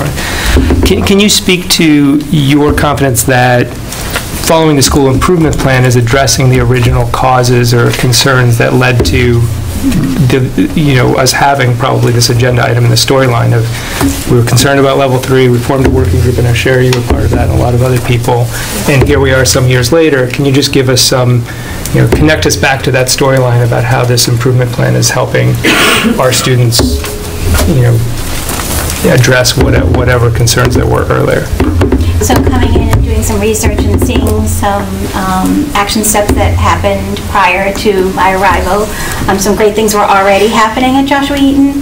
And so um, one of the things that, in looking at the data and the MCAS data and the previous Fountas and Pinnell data and talking to staff and talking to parents, um, it seemed like the biggest thing was consistency and clarity. And so, especially around literacy. And so that um, proved to be like a number one action step, that we needed to first take a break, stop, look at, for example, Fountas and Pinnell. How are we administering the test? Is everyone giving the same version, the exact same way, having similar conversations about students? And then secondary to that is the actual uh, curriculum tool that we're using to align with the standards. And so, um, just kind of like we're talking about K-2, you need to have that solid base. Well, even in instruction and teaching, you need to have that solid base. Like, every teacher needs to understand the standards for their grade level, know where the kids have been and where they're going, and be able to articulate that, to create interventions and assessments. I mean, it's just a real, it's really secular.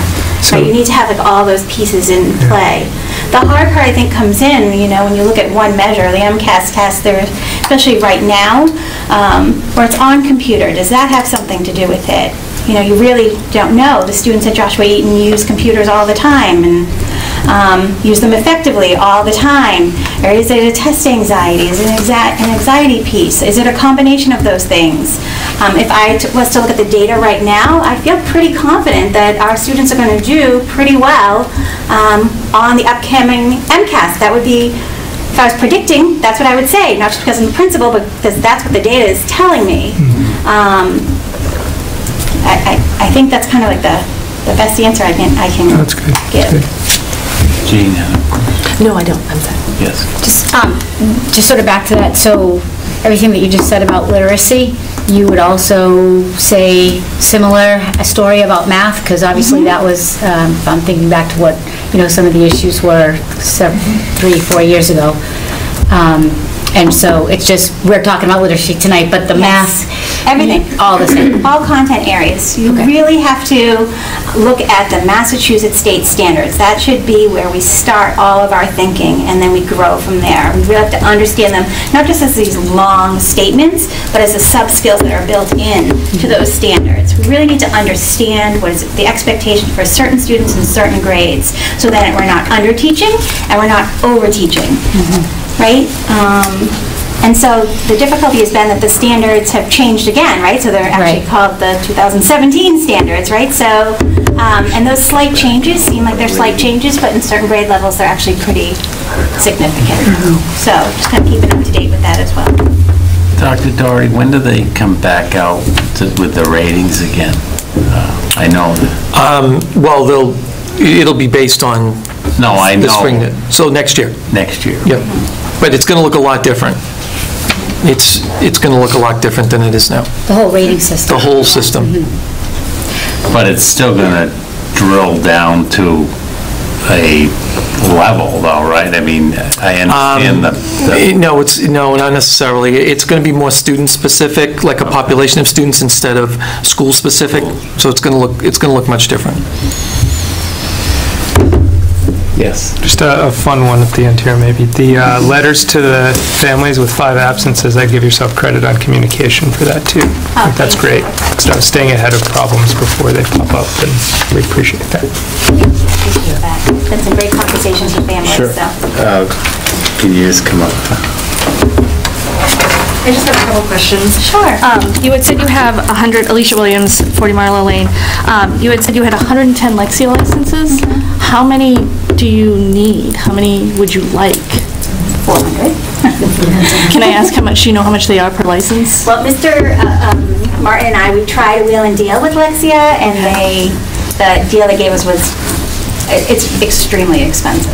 And how do you get around the challenges of having 400 kids that need them and 110 students that have them? So we made an adaptation where grades two um, through five actually can give the assessment online and gather that data, and then they have access to what is digital in paper form, and so they've been utilizing the paper forms um, to do interventions with their students and send things home, and then in some classrooms, they have their own little booklet for uh, what I need time, and they'll pull that out and get what they need. Okay, it's a great program, I, I really like I it. love Um, In terms of attendance, does your chart include excused and unexcused and medically disabled? It does include those? Mm-hmm. It does. Okay. Great point. I should state, um, can I say that? Uh, We have several students, more than one, um, who have um, high medical absences. So that should be noted as well. Okay. Um, And then with the assessment, you have a great, great jump. I love it. It's wonderful to see. Was the assessment performed the same way in spring as it was in the fall? Or did anything change? It was the same addition. Okay. We cal, we did some calibration in the fall, so that might, but from what I was told, it was, you know, given similarly, right? In the in the spring, they can answer. I wasn't here, so I don't know. Okay, okay. They were awesome, so I'm assuming it was great. Okay. And then my other question, I guess, is more for the committee or Dr. Doherty. Um, We're a second edition across the district, but we're third edition at JE. Is there a reason why we're third edition at JE and second edition across the district? Funding. Funding. And we we had limited resources, so we had, we put them at Eaton. Okay. It- it- They're very expensive. These kits are very expensive. The And- third edition's very expensive. No, I figured, I just was curious. Is there a plan to kind of go to third edition everywhere Ask eventually? us after April 4th. Wait, When we hopefully get our 150,000 a year curriculum funding, then maybe we can do this. This. Oh, I'm sorry, I just had one more thing. We're having Absolutely. um, a make and take math night, so I'm just going to send out an invitation to all of you to stop by and come say hello. Did you have? Do you have any? Sure. I just had one more question for Oh, you. sure. He is go, just because it doesn't get on TV. Wow, I'm Italian. Um, uh, How are parents told about their reading levels? Um, The teachers report it out to the parents, either through the progress report or they have parent conferences all the time. Okay. Thank you. Great, thank you. Thank you. Thank you very much. Thank you.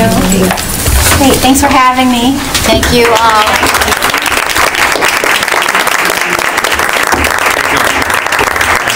Two-minute recess, just so you Yep. you can clear out the room.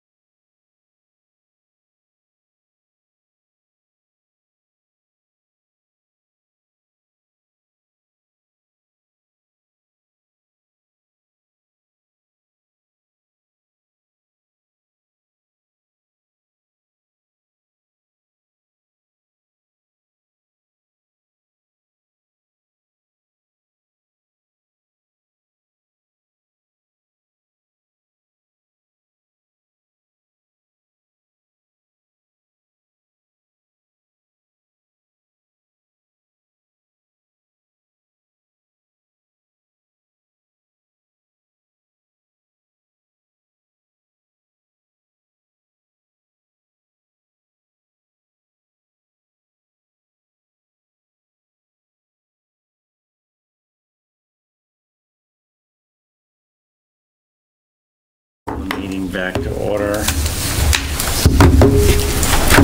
We'll start with the personnel report. Uh, Thank you. Yep.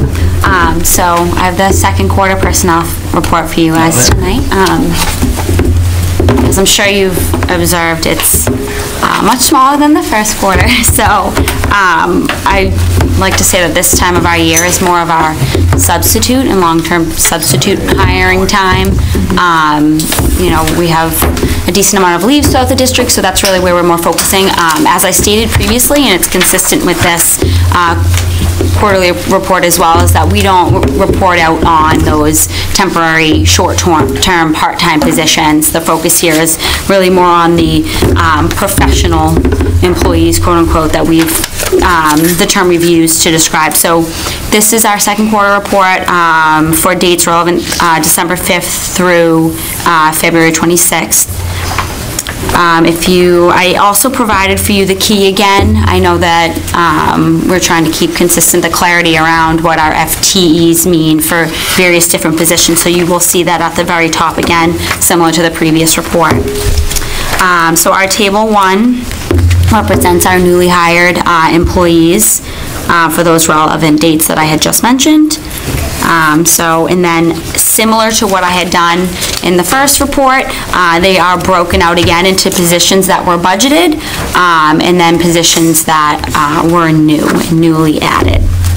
Um, I think we had mentioned this before, I did not include it in this. I think, Nick, you had mentioned this previously about the total FTEs. Will this chart add, will these two tables add up to the first? That is correct, that is how they would be. So 3.94 is what you see in our first uh, total FTEs uh, for newly hired employees.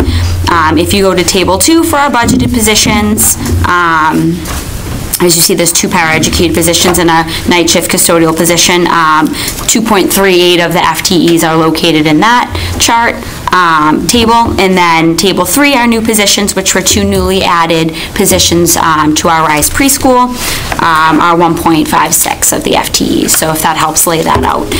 Um, And then, Again, we're reporting out on our current open job requisitions. So these are the current open open requisitions for FY um, '18. So, um, and they are currently what we have open for the, um, that are relevant for this um, quarterly report. And then uh, we had one teacher um, resignation that was due to a relocation. So relatively straightforward. Does anyone have any questions about? Yep.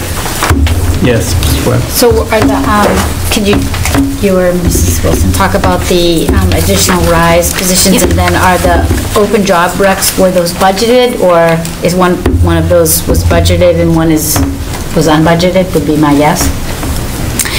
So the open, first off, the open, the new position is what, positions what you had asked for. Those were based off of student need um, and IEP mandated. This is for the sec, the sub-separate Separate classroom classroom, okay. that started in January, Yeah. Okay. that we had, had explained to you So they were earlier. not in the original. They weren't, in- no, these, they So weren't. it's original. all three of them, all three of the Correct. .78, which is .78 because it's a, where the, the the day. It's the number of hours. is- Number of hours. It's not full. Yep, and then that open rise was also based off of Yeah. similar. And- And then the high school, um, that's the TSP program teacher, which is, um, it's not, it's vacant. It's a vacant. Yeah, it's a vacancy. It's a budgeted. It's a budgeted vacancy, vacancy. correct, yes, yep. Okay. So we still need one more person for the subset. Yes. Yes. And that's hopefully in the works. Yes. As of today, so Let's go quickly. we will see. On the um, open special education therapeutic support program teacher at the high school. Yes. um, How are we getting services out without that position, with that We- position being vacant? Yep, so I can speak a little bit to that and let me know if I Yeah. forget anything, um, or if I'm missing an aspect of it. We do currently have um, a current, which is, this is not unheard of, a current paraprofessional who uh, works very closely and was working with this group of students in this population, um, who, for the time being, we have uh, moved into supporting that role and has taken over some aspects of, of that. Um, Again, you don't see it reported out because we aren't reporting out on these temporary, short-term. Um, So that aspect of it is how some of these students are getting that day-to-day support. I don't know if The there's anything program else is I'm also missing. supported by two licensed special Yes, yep. education teachers. So we have one vacancy, so there is a licensed special education teacher and a paraprofessional who's a sub currently to support those needs. We also have a social worker that supports, that is dedicated to that program as well. Um, And we have regular education teachers who teach some of the small group classes up at the high school, so. Thank you, that's very helpful. Could could you just, um, it's okay. Go ahead. Just uh, bring maybe a little um, reminder about what that program is, because I'm not Sure. The therapeutic support program is for students whose primary disability is a social emotional disability, and the program at the high school provides anything from a full inclusion program to a partial inclusion to sub-separate, so it offers a continuum. So if students require small group instruction, they have access to that, or if they're fully included, they do that as well, so. So that means they would, might have a, per- a teacher or a professional. Or Sort paraprofessional. of with them. In supporting, in the inclusion setting, if that's what their IEP calls for. Um, Some students are doing more small group classes um, because that's what their IEPs call for. And those classes, right now, I believe we have two classes that are actually taught, the small group is taught by a regular education teacher. But it's small group for the students in the therapeutic support program, not other students. Okay, thank you. So I couldn't help but notice that of the 12 line items here, and not every line item is the same number of FTE, but of the 12 different positions identified here, eight of them are special ed related. It's two-thirds. It's 30% of our budget, but it's two-thirds of these hires. Do, do- is that indicative of a higher than normal turnover rate in special ed? I don't think it would, yeah, I don't know if it, are you talking about which chart? I'm sorry. All of them together. So all of when I them look at all of together. them, there's a lot of I wouldn't ed say here. that's unu- unusual in any sense. Um, I do think what you're seeing is a lot of, the thing with special ed, and Carolyn, correct me, but I mean, it, it is ever changing, so, I mean, we do have additions that are needed, I mean, we do have positions that do shift, and we need to support in different ways, so I think that's why we're seeing a lot of the special education positions. Three of them are. Some of them are new program ads. Yeah, and, uh, yeah, so. Turnover, so I. That's yeah. a small number, 12, but I just want to make sure that. It's really only Seven. nine though, right? Because the three is a. Three are. Three are new. program. Correct. New positions, not, Correct. not turnover Yeah. related. Okay, good. So we don't have a concern with...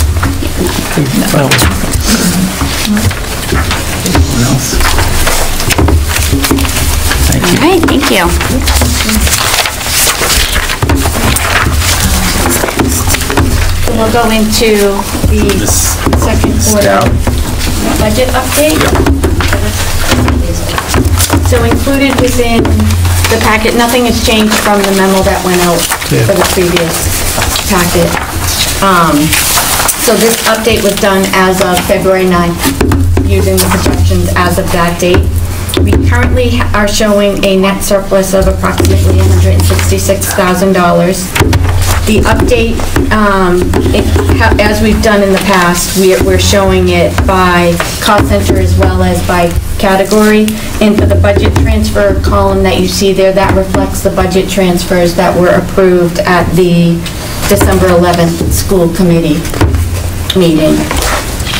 So to highlight a couple of the items within the, to focus on some of the, the cost centers, within the administration cost center, we are showing a slight surplus now. That reflects that we had approved transfers into the administration cost center to get some additional help for the central office. We're still in the process of trying to get that temporary help on board, so we have not utilized all of the funding that we transferred in there. So Jen and I are actively working on that currently with the hope to have some help on board within the next month for that. Are we, are we still getting help from town hall, that person that was coming over here? That is on the human resources That's HR. side, Oh, Yes, we just are. That HR. person is, does continue to be here two days a week, and we're continuing to meet to discuss the best ways to utilize that time that he is here. So that is still working out for us.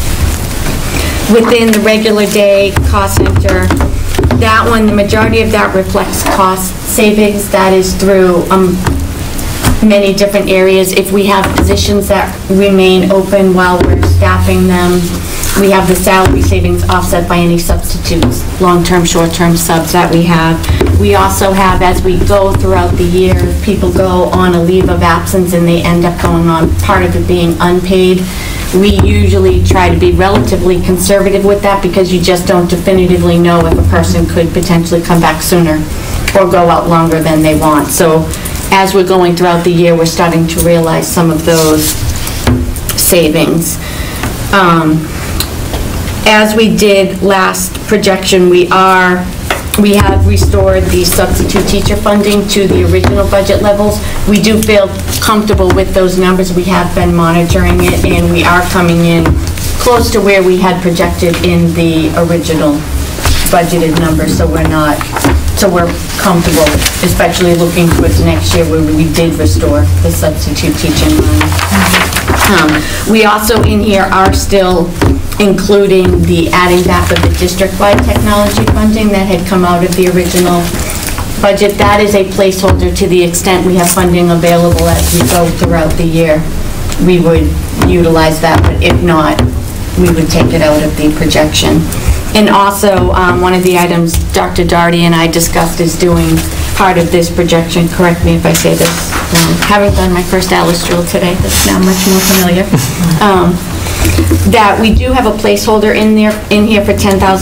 That is for the classroom safety backpack replacements. We are asking all of the schools, all of the classrooms to go through their backpacks and assessing what items would need to be replenished at this point. So we are looking, to the extent we have additional funding available at the end of the year, to be able to go through and assess those and replace them as needed.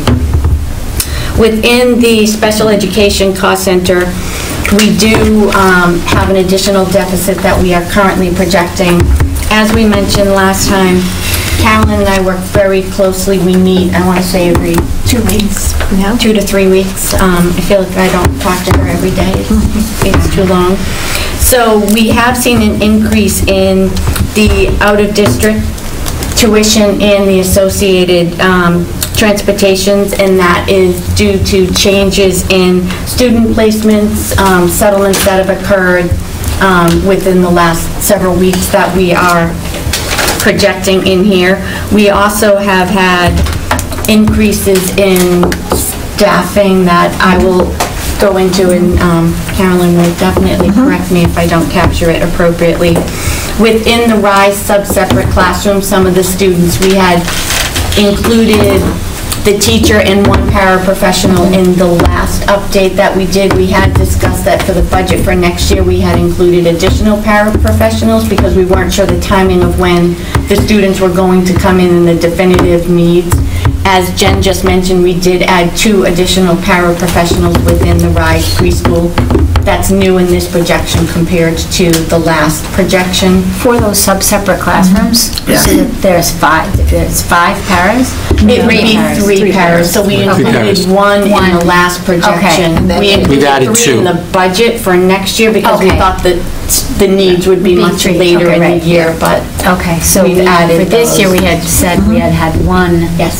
So now budget, FY '19 budget, we had three Yes. teachers and three Yes. paras. Yes. And now we're seeing the need for the two Yes. paras now. And we're Correct. working very closely with Carolyn and Kelly Boswick to go through the needs of the students, mm-hmm. IEPs, to make sure we're bringing in the right staffing.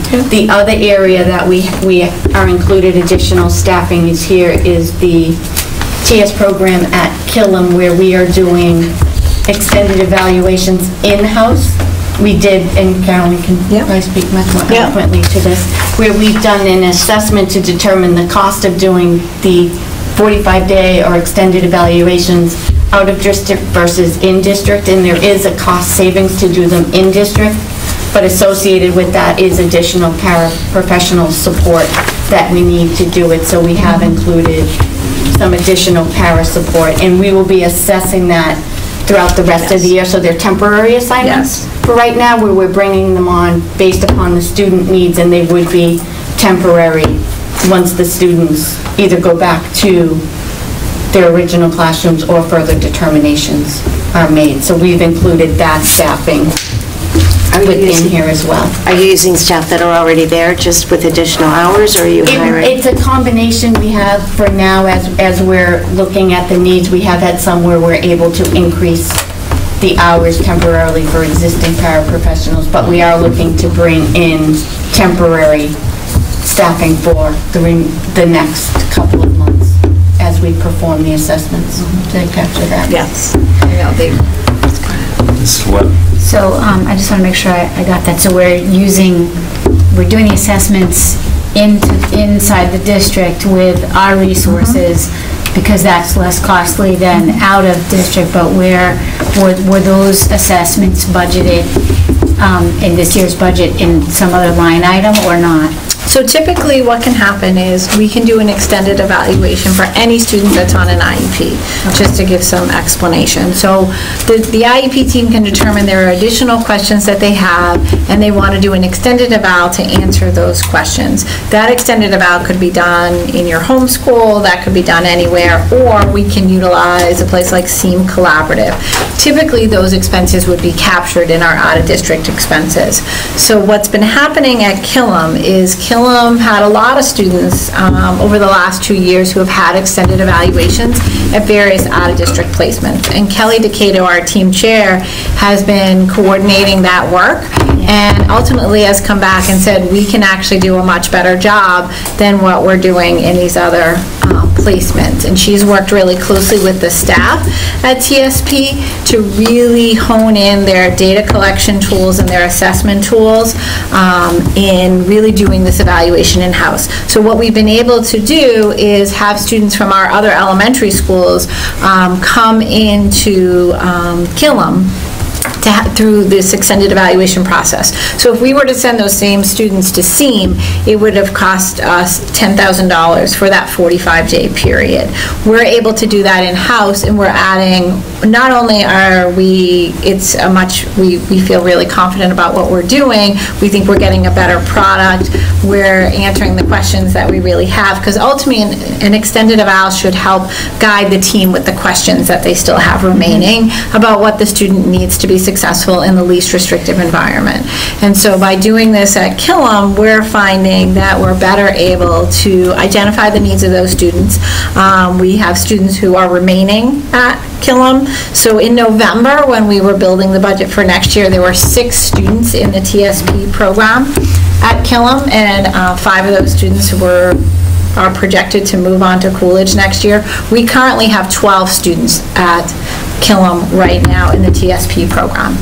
Just for... And for they're all already, evaluation? no, we have three just in students the having program. extended evaluation of that 12. So we have nine students now in the program. It's grown since November to now to nine. And then three of those students, we've been doing extended eval. In addition, one of the other challenges, just to make the committee aware, is that Killam is K to five. And so we can only have groupings of no more than 48 months. And so we're finding now, originally, our population was more the fourth and fifth grade, and now we have some younger K1, 2 students, which is why we need some of the additional staffing as well. It's not just the number, it's also how we need to do our instructional grouping. Was that the Walker report? There was something, was, there was a piece of that I remember we we talked about before. Yeah, so we have to just be mindful of how we're grouping students, what type of instruction they need, um, but overall, the, the work that Killam's doing is phenomenal, and we need to continue to support that because they're doing a great job at supporting these students. And I will say anecdotally, the, the middle school, in meeting with the middle school staff, they're reporting to me, the students they're seeing coming in from Killam, it's a different type of student um, from this program um, because of the work that they've been doing. So, you know, it is an added expense, absolutely, but to be able to keep these students within our district and the quality of the data we're able to capture um, is really important um, for us um, to be able to meet the needs of the students. did you want to continue? So, those were the main reasons within the special education cost center. The district-wide program cost center has not changed since the last projection. Um, We are still projecting about a $28,000 um, surplus, and again, that is all tied to um, salary Salary savings savings. mainly through hiring and timing of replacements during the year. The facilities cost center, the surplus has gone out up slightly only due to having a couple of our custodians out on extended leaves at the moment. So we're monitoring that because we are replacing that with substitutes, so we're monitoring that for the timing of when folks will be coming, coming back.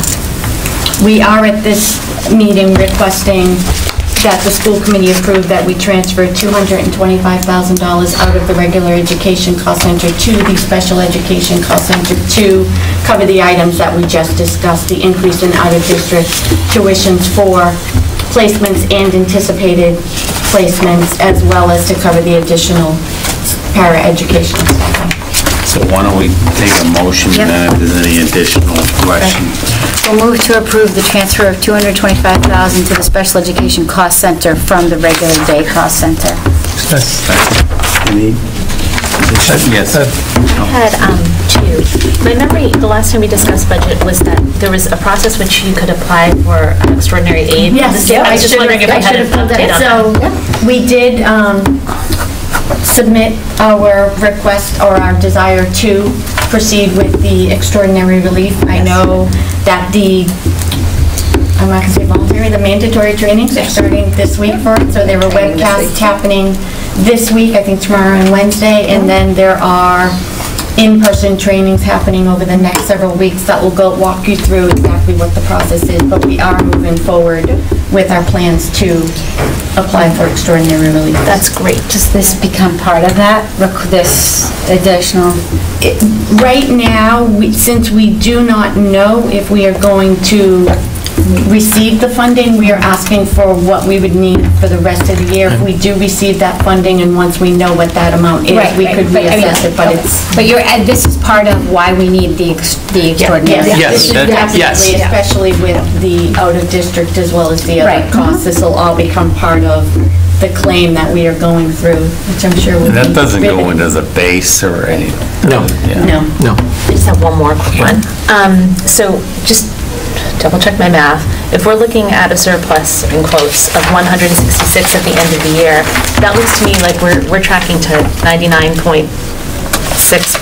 Yes, it is a budget 0.4%. utilization, which is significantly leaner than typical, yes? Yes, Okay. especially given the time of year where we are. It is an i- an item where um, we're actually meeting again, I think, next Monday or Tuesday to sort of recast the numbers. So we're now almost meeting every other week, looking at our salary projections in other items monitor it as we go through. And I know you've been completely transparent about, from the time this budget was approved, we've been very transparent about the fact that this is very lean, we knew it would be mm-hmm. tight. My only other question on that is, have, have you had communication with our colleagues on the town side? Because this will impact what we give back to free cash? Yes. It will be mm-hmm. lower this year? Yes. Okay. We have had those discussions as well as the discussions as we monitor it and approach April town meeting if the numbers Yeah. If Yeah. there's- if change there's another drastically. surprise. We're also working internally, we do have um, our own sort of fail-safe mechanisms in place such that if something else were to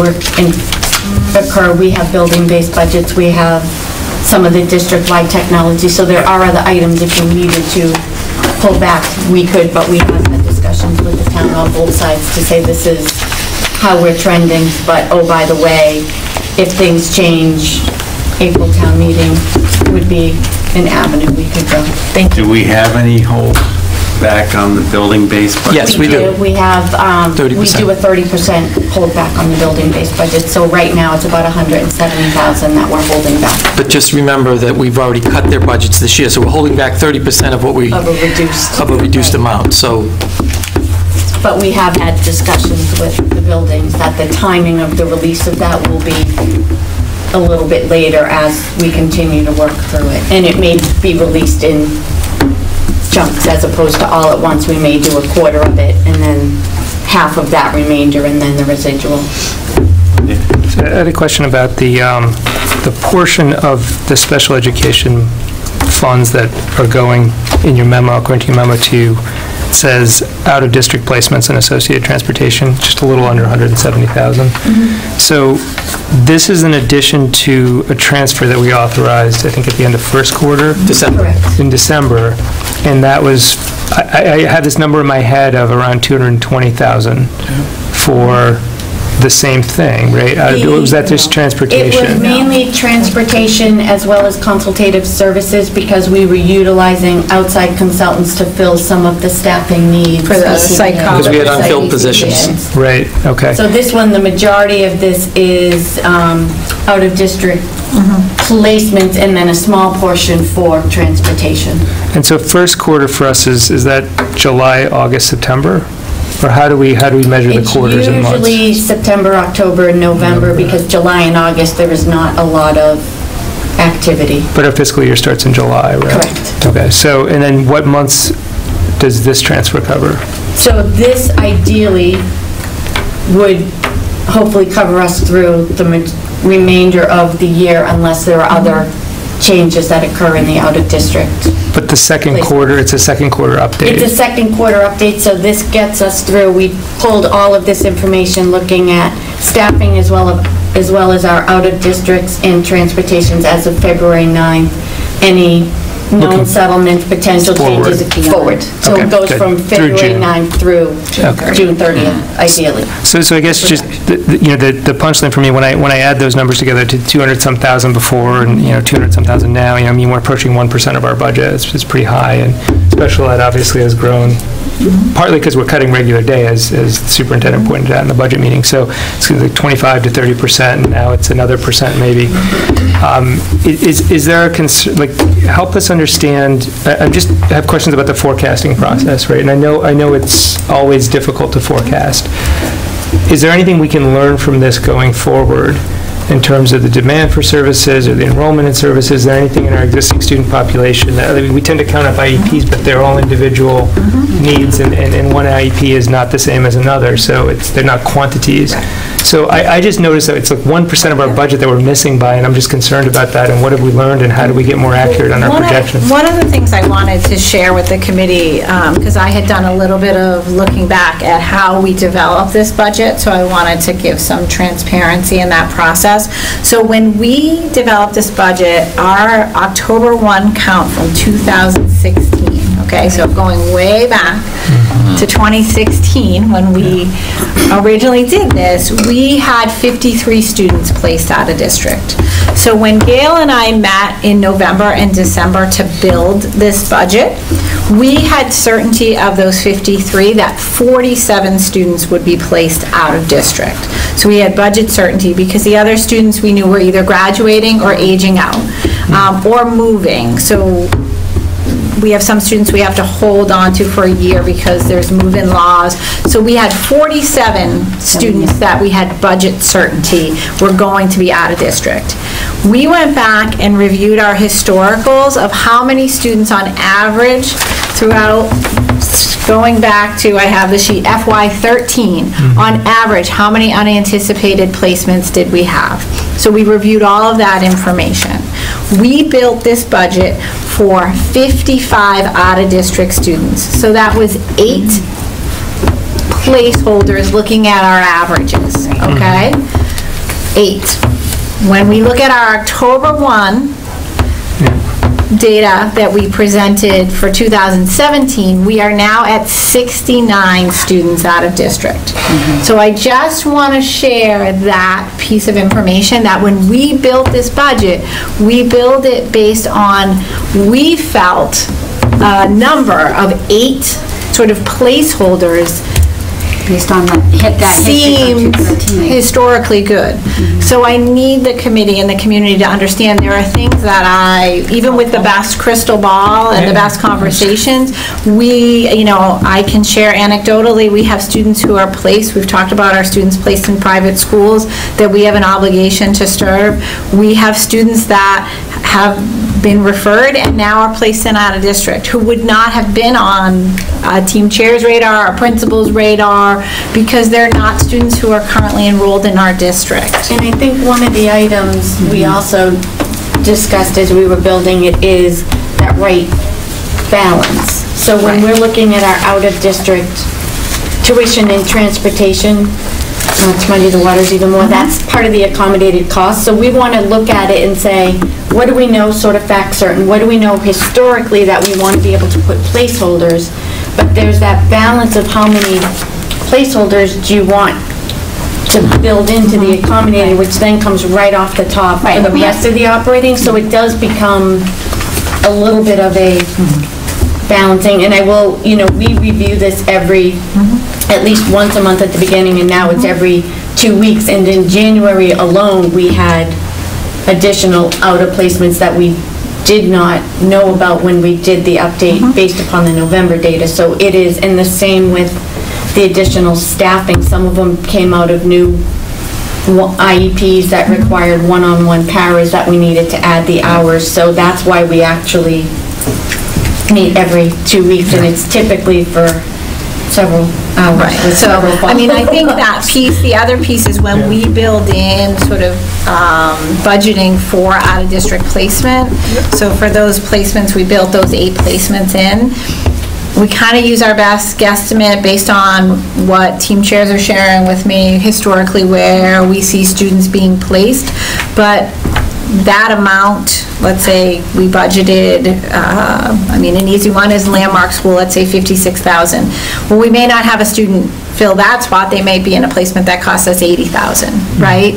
So it's not always a one-for-one, just because we budget for 55, there, each placement costs, has a different cost associated with that.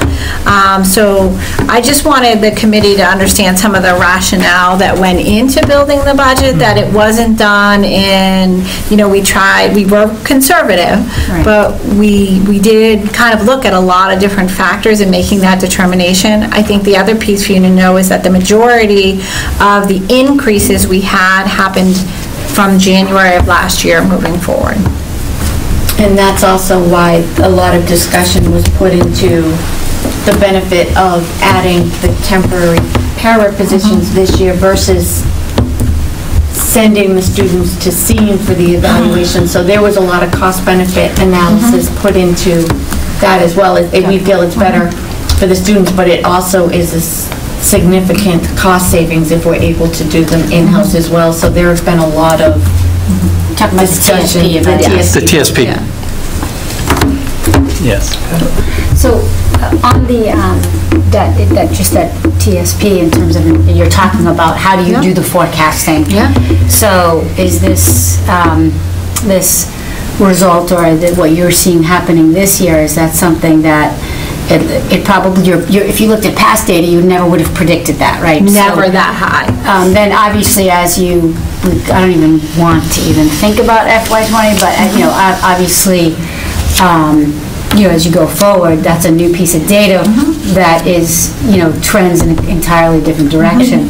One of the items we did for FY19 that we talked about through the budget process is we did include, because having looked back historically at the increases we've had in paraprofessionals from either RISE or other areas, we did increase the staffing for special education next year because we are historically seeing each year, whether it's FY19. temporary or not, that we need these additional paraprofessionals. So as part of next year's budget, we did build in an increase in paraprofessional staffing. The other thing that we've been, that I do periodically is I have the team chairs and the building principals do a special education paraprofessional audit.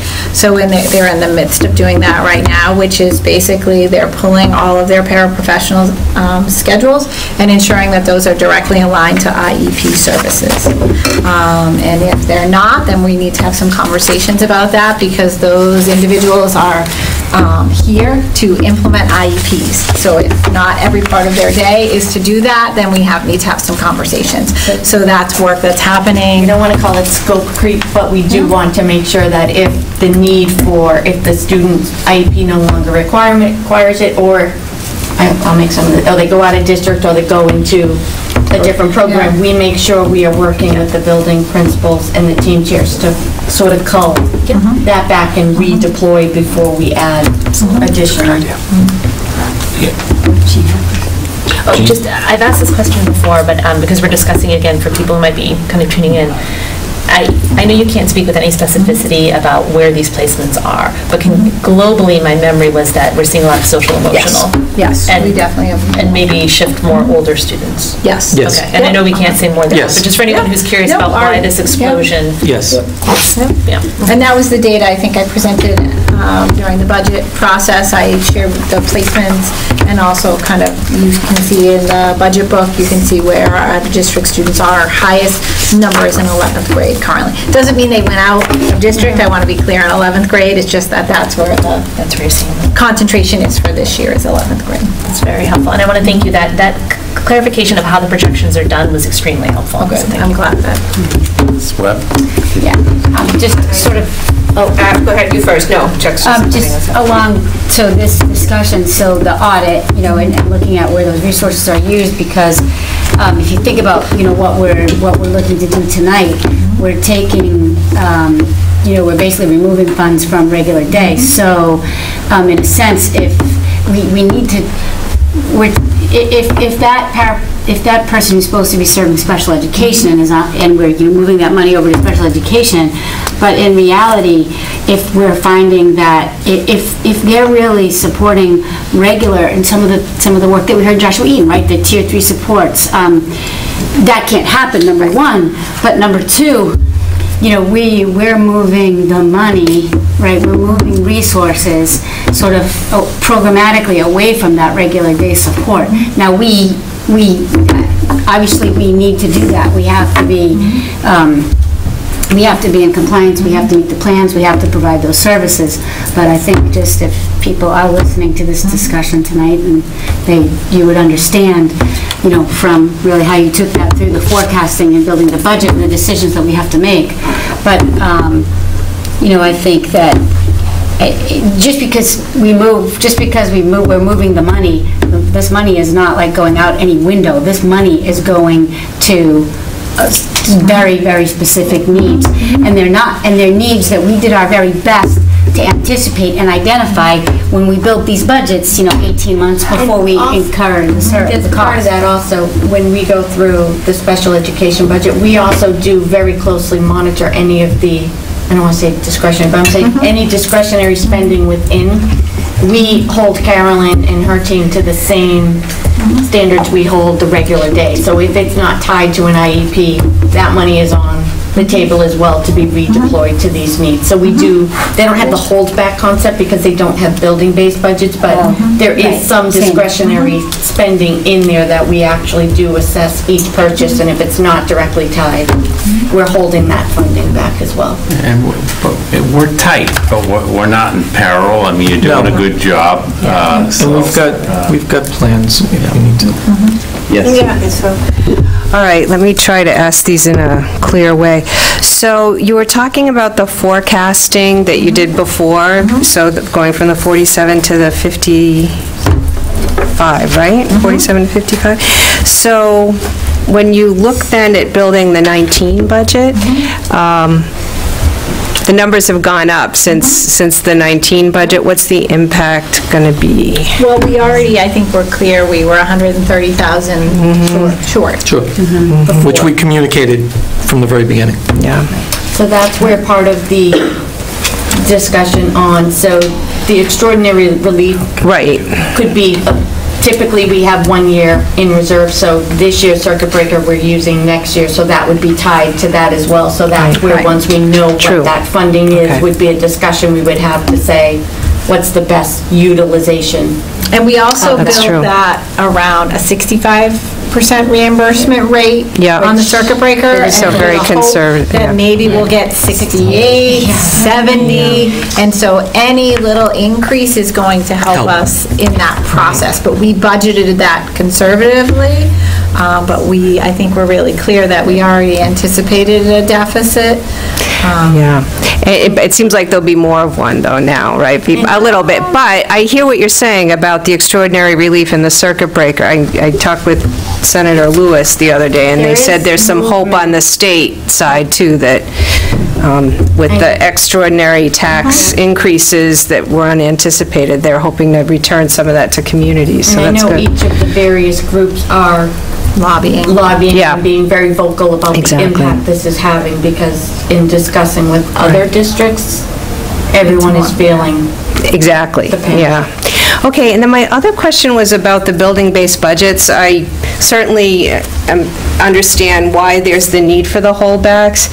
What is the impact of that, though, on the buildings? And so if, and if we can release the money, it's a little concerning, of course, that sadly it will come closer to the end of the year. Is that, and do they need it now? I mean, and I don't know what to do about that, So but it's... what they have, they get 70% of their budgets, they have released to them upfront. If there are, it would be case by case. So if there are specific needs that they need before we can release it, we We, we talked we about talk it. about really critical. Yep. Yes, and we do the same with technology technically because we are now having all technology purchases go through district as opposed to building-based budgets. Every purchase that's coming through is an assessment to say, Do you need this right do now? you need it right now? Are there any, we do have, we're very thankful, we're, we have very great PTOs that have donated a lot that are specific for. Mm-hmm. So we actually push building-based budget principles to say, we know you got a donation, did you, did you utilize your donation first before tapping into it? Um, That is also, I will say, where some- the rep funding has been great because a lot of that has been PD-focused where we're now, they're being very generous with the donations that they're giving to us for specific needs. So it, Right. each purchase that comes through is very, And and just so you're aware, Sherry, the 30% traditionally has never been spent until late spring. okay. And it's, it that's always been done that way, and they prepay materials and supplies for the following year. That's So very it would- helpful, thank you. The idea would be to release it in May, but it, early May versus mid-May. We just want to make sure we're being as I, fiscally. yes, and I applaud that, too. Because I once you wanted- let them spend it, Right, well, And this isn't Thank you. something we're just, do- we do this. We do We've done it, oh yeah, we've done this for, But the- we've done this for several years. Building-based budgets were lower this Yes. year. Yes. That's Yes. that's- So we have- another Yeah. rub, right, mhm. yeah, thank you. Uh, But mine is on this topic, is that okay? It's quick. Um, It's also my understanding that's fairly typical in other districts. Yes. This holdback, this isn't a Reading thing, that's very typical in other districts to have a similar mechanism. And the- the rationale for that is the way it works, if you consider your salaries are sort of a given, you can't hold back a salary once the people are here. It- it- Different area. Um, Private sector. Private sector, don't, don't have that leeway. Um, So really, this is the one main controllable expense that we can put a hold on easier than other areas. So that's why we focus heavily on curriculum, PD, technology, and building-based, while equally critical, it is the one area we have the most flexibility on timing and spend. So a couple of things. One is um, a great appreciation to our PTOs, but we don't want to get used to this. Right. The PTOs, it's not their job to be providing paper or technology or our needs. We, um, they're amazing to rise to this, and I remember back when Mrs. Webb was PTO president, and we had these discussions about not, with certain things we wouldn't, sup- we wouldn't support, because once we did, then, then they wouldn't get covered by the schools, and that put a hardship on families, and so. We, we sort of blew by that, I think, unfortunately. That- And we do, so typically for, and I, the way I approach it is if I know there is, there is a donation that has come in, or I've been informed that there is one coming, that's where I would say, your PTO has told you next month they're giving you X amount for technology, but if we're not aware of anything, we don't hold up mm-hmm. purchases hoping for it. This is more, I know some of the PTOs have been very vocal about, we have this, it's, they're getting it through their boards, the donation is coming. Those are where I say, okay, if, if we know it's coming, it's more prudent to utilize that funding since, and many of the PTOs, base- they want you to, they want to know you're getting it and you're spending it in a timely fashion as well. Yeah, and I'm in no way pointing fingers because we are where we are. I just don't want us or, or everyone listening to think that this is the solution we should rely on on an ongoing basis. Um, And then I had a question back to the, two questions. Um, The extended evaluations, have you gotten feedback from parents? Because you're keeping kids in town for these evaluations, and we've heard loud and clear that parents want to stay in town. Um, So I didn't know if you were getting I think that initially, the fam- families that have been involved in this, you know, are very concerned about their child leaving their home school, because even that can be very stressful So for they're our moving to families. Killam. So we, I think the Killam staff, and I have to give Kelly Picato, Sarah Levesque, and their team, the- really the credit, have worked so closely with families. I know the last um, kind of extended evaluation. We went through, the, it was really a positive collaboration um, with the family, the homeschool, um, and ended very positively. Um, So I think it is a great thing, and, and I think the staff there do recognize also when they can't meet the student needs, but I think their goal is really to do that high-quality work for the students here in Reading, Um, and I do applaud them for that, and I applaud them, they have gone out to many out-of-district placements that serve similar populations, and they've, you know, as, as uh, Mrs. Ippolito said, they've kind of stolen some ideas and made those part of what they do to really increase the therapeutic side of their program, so. Awesome. Yeah.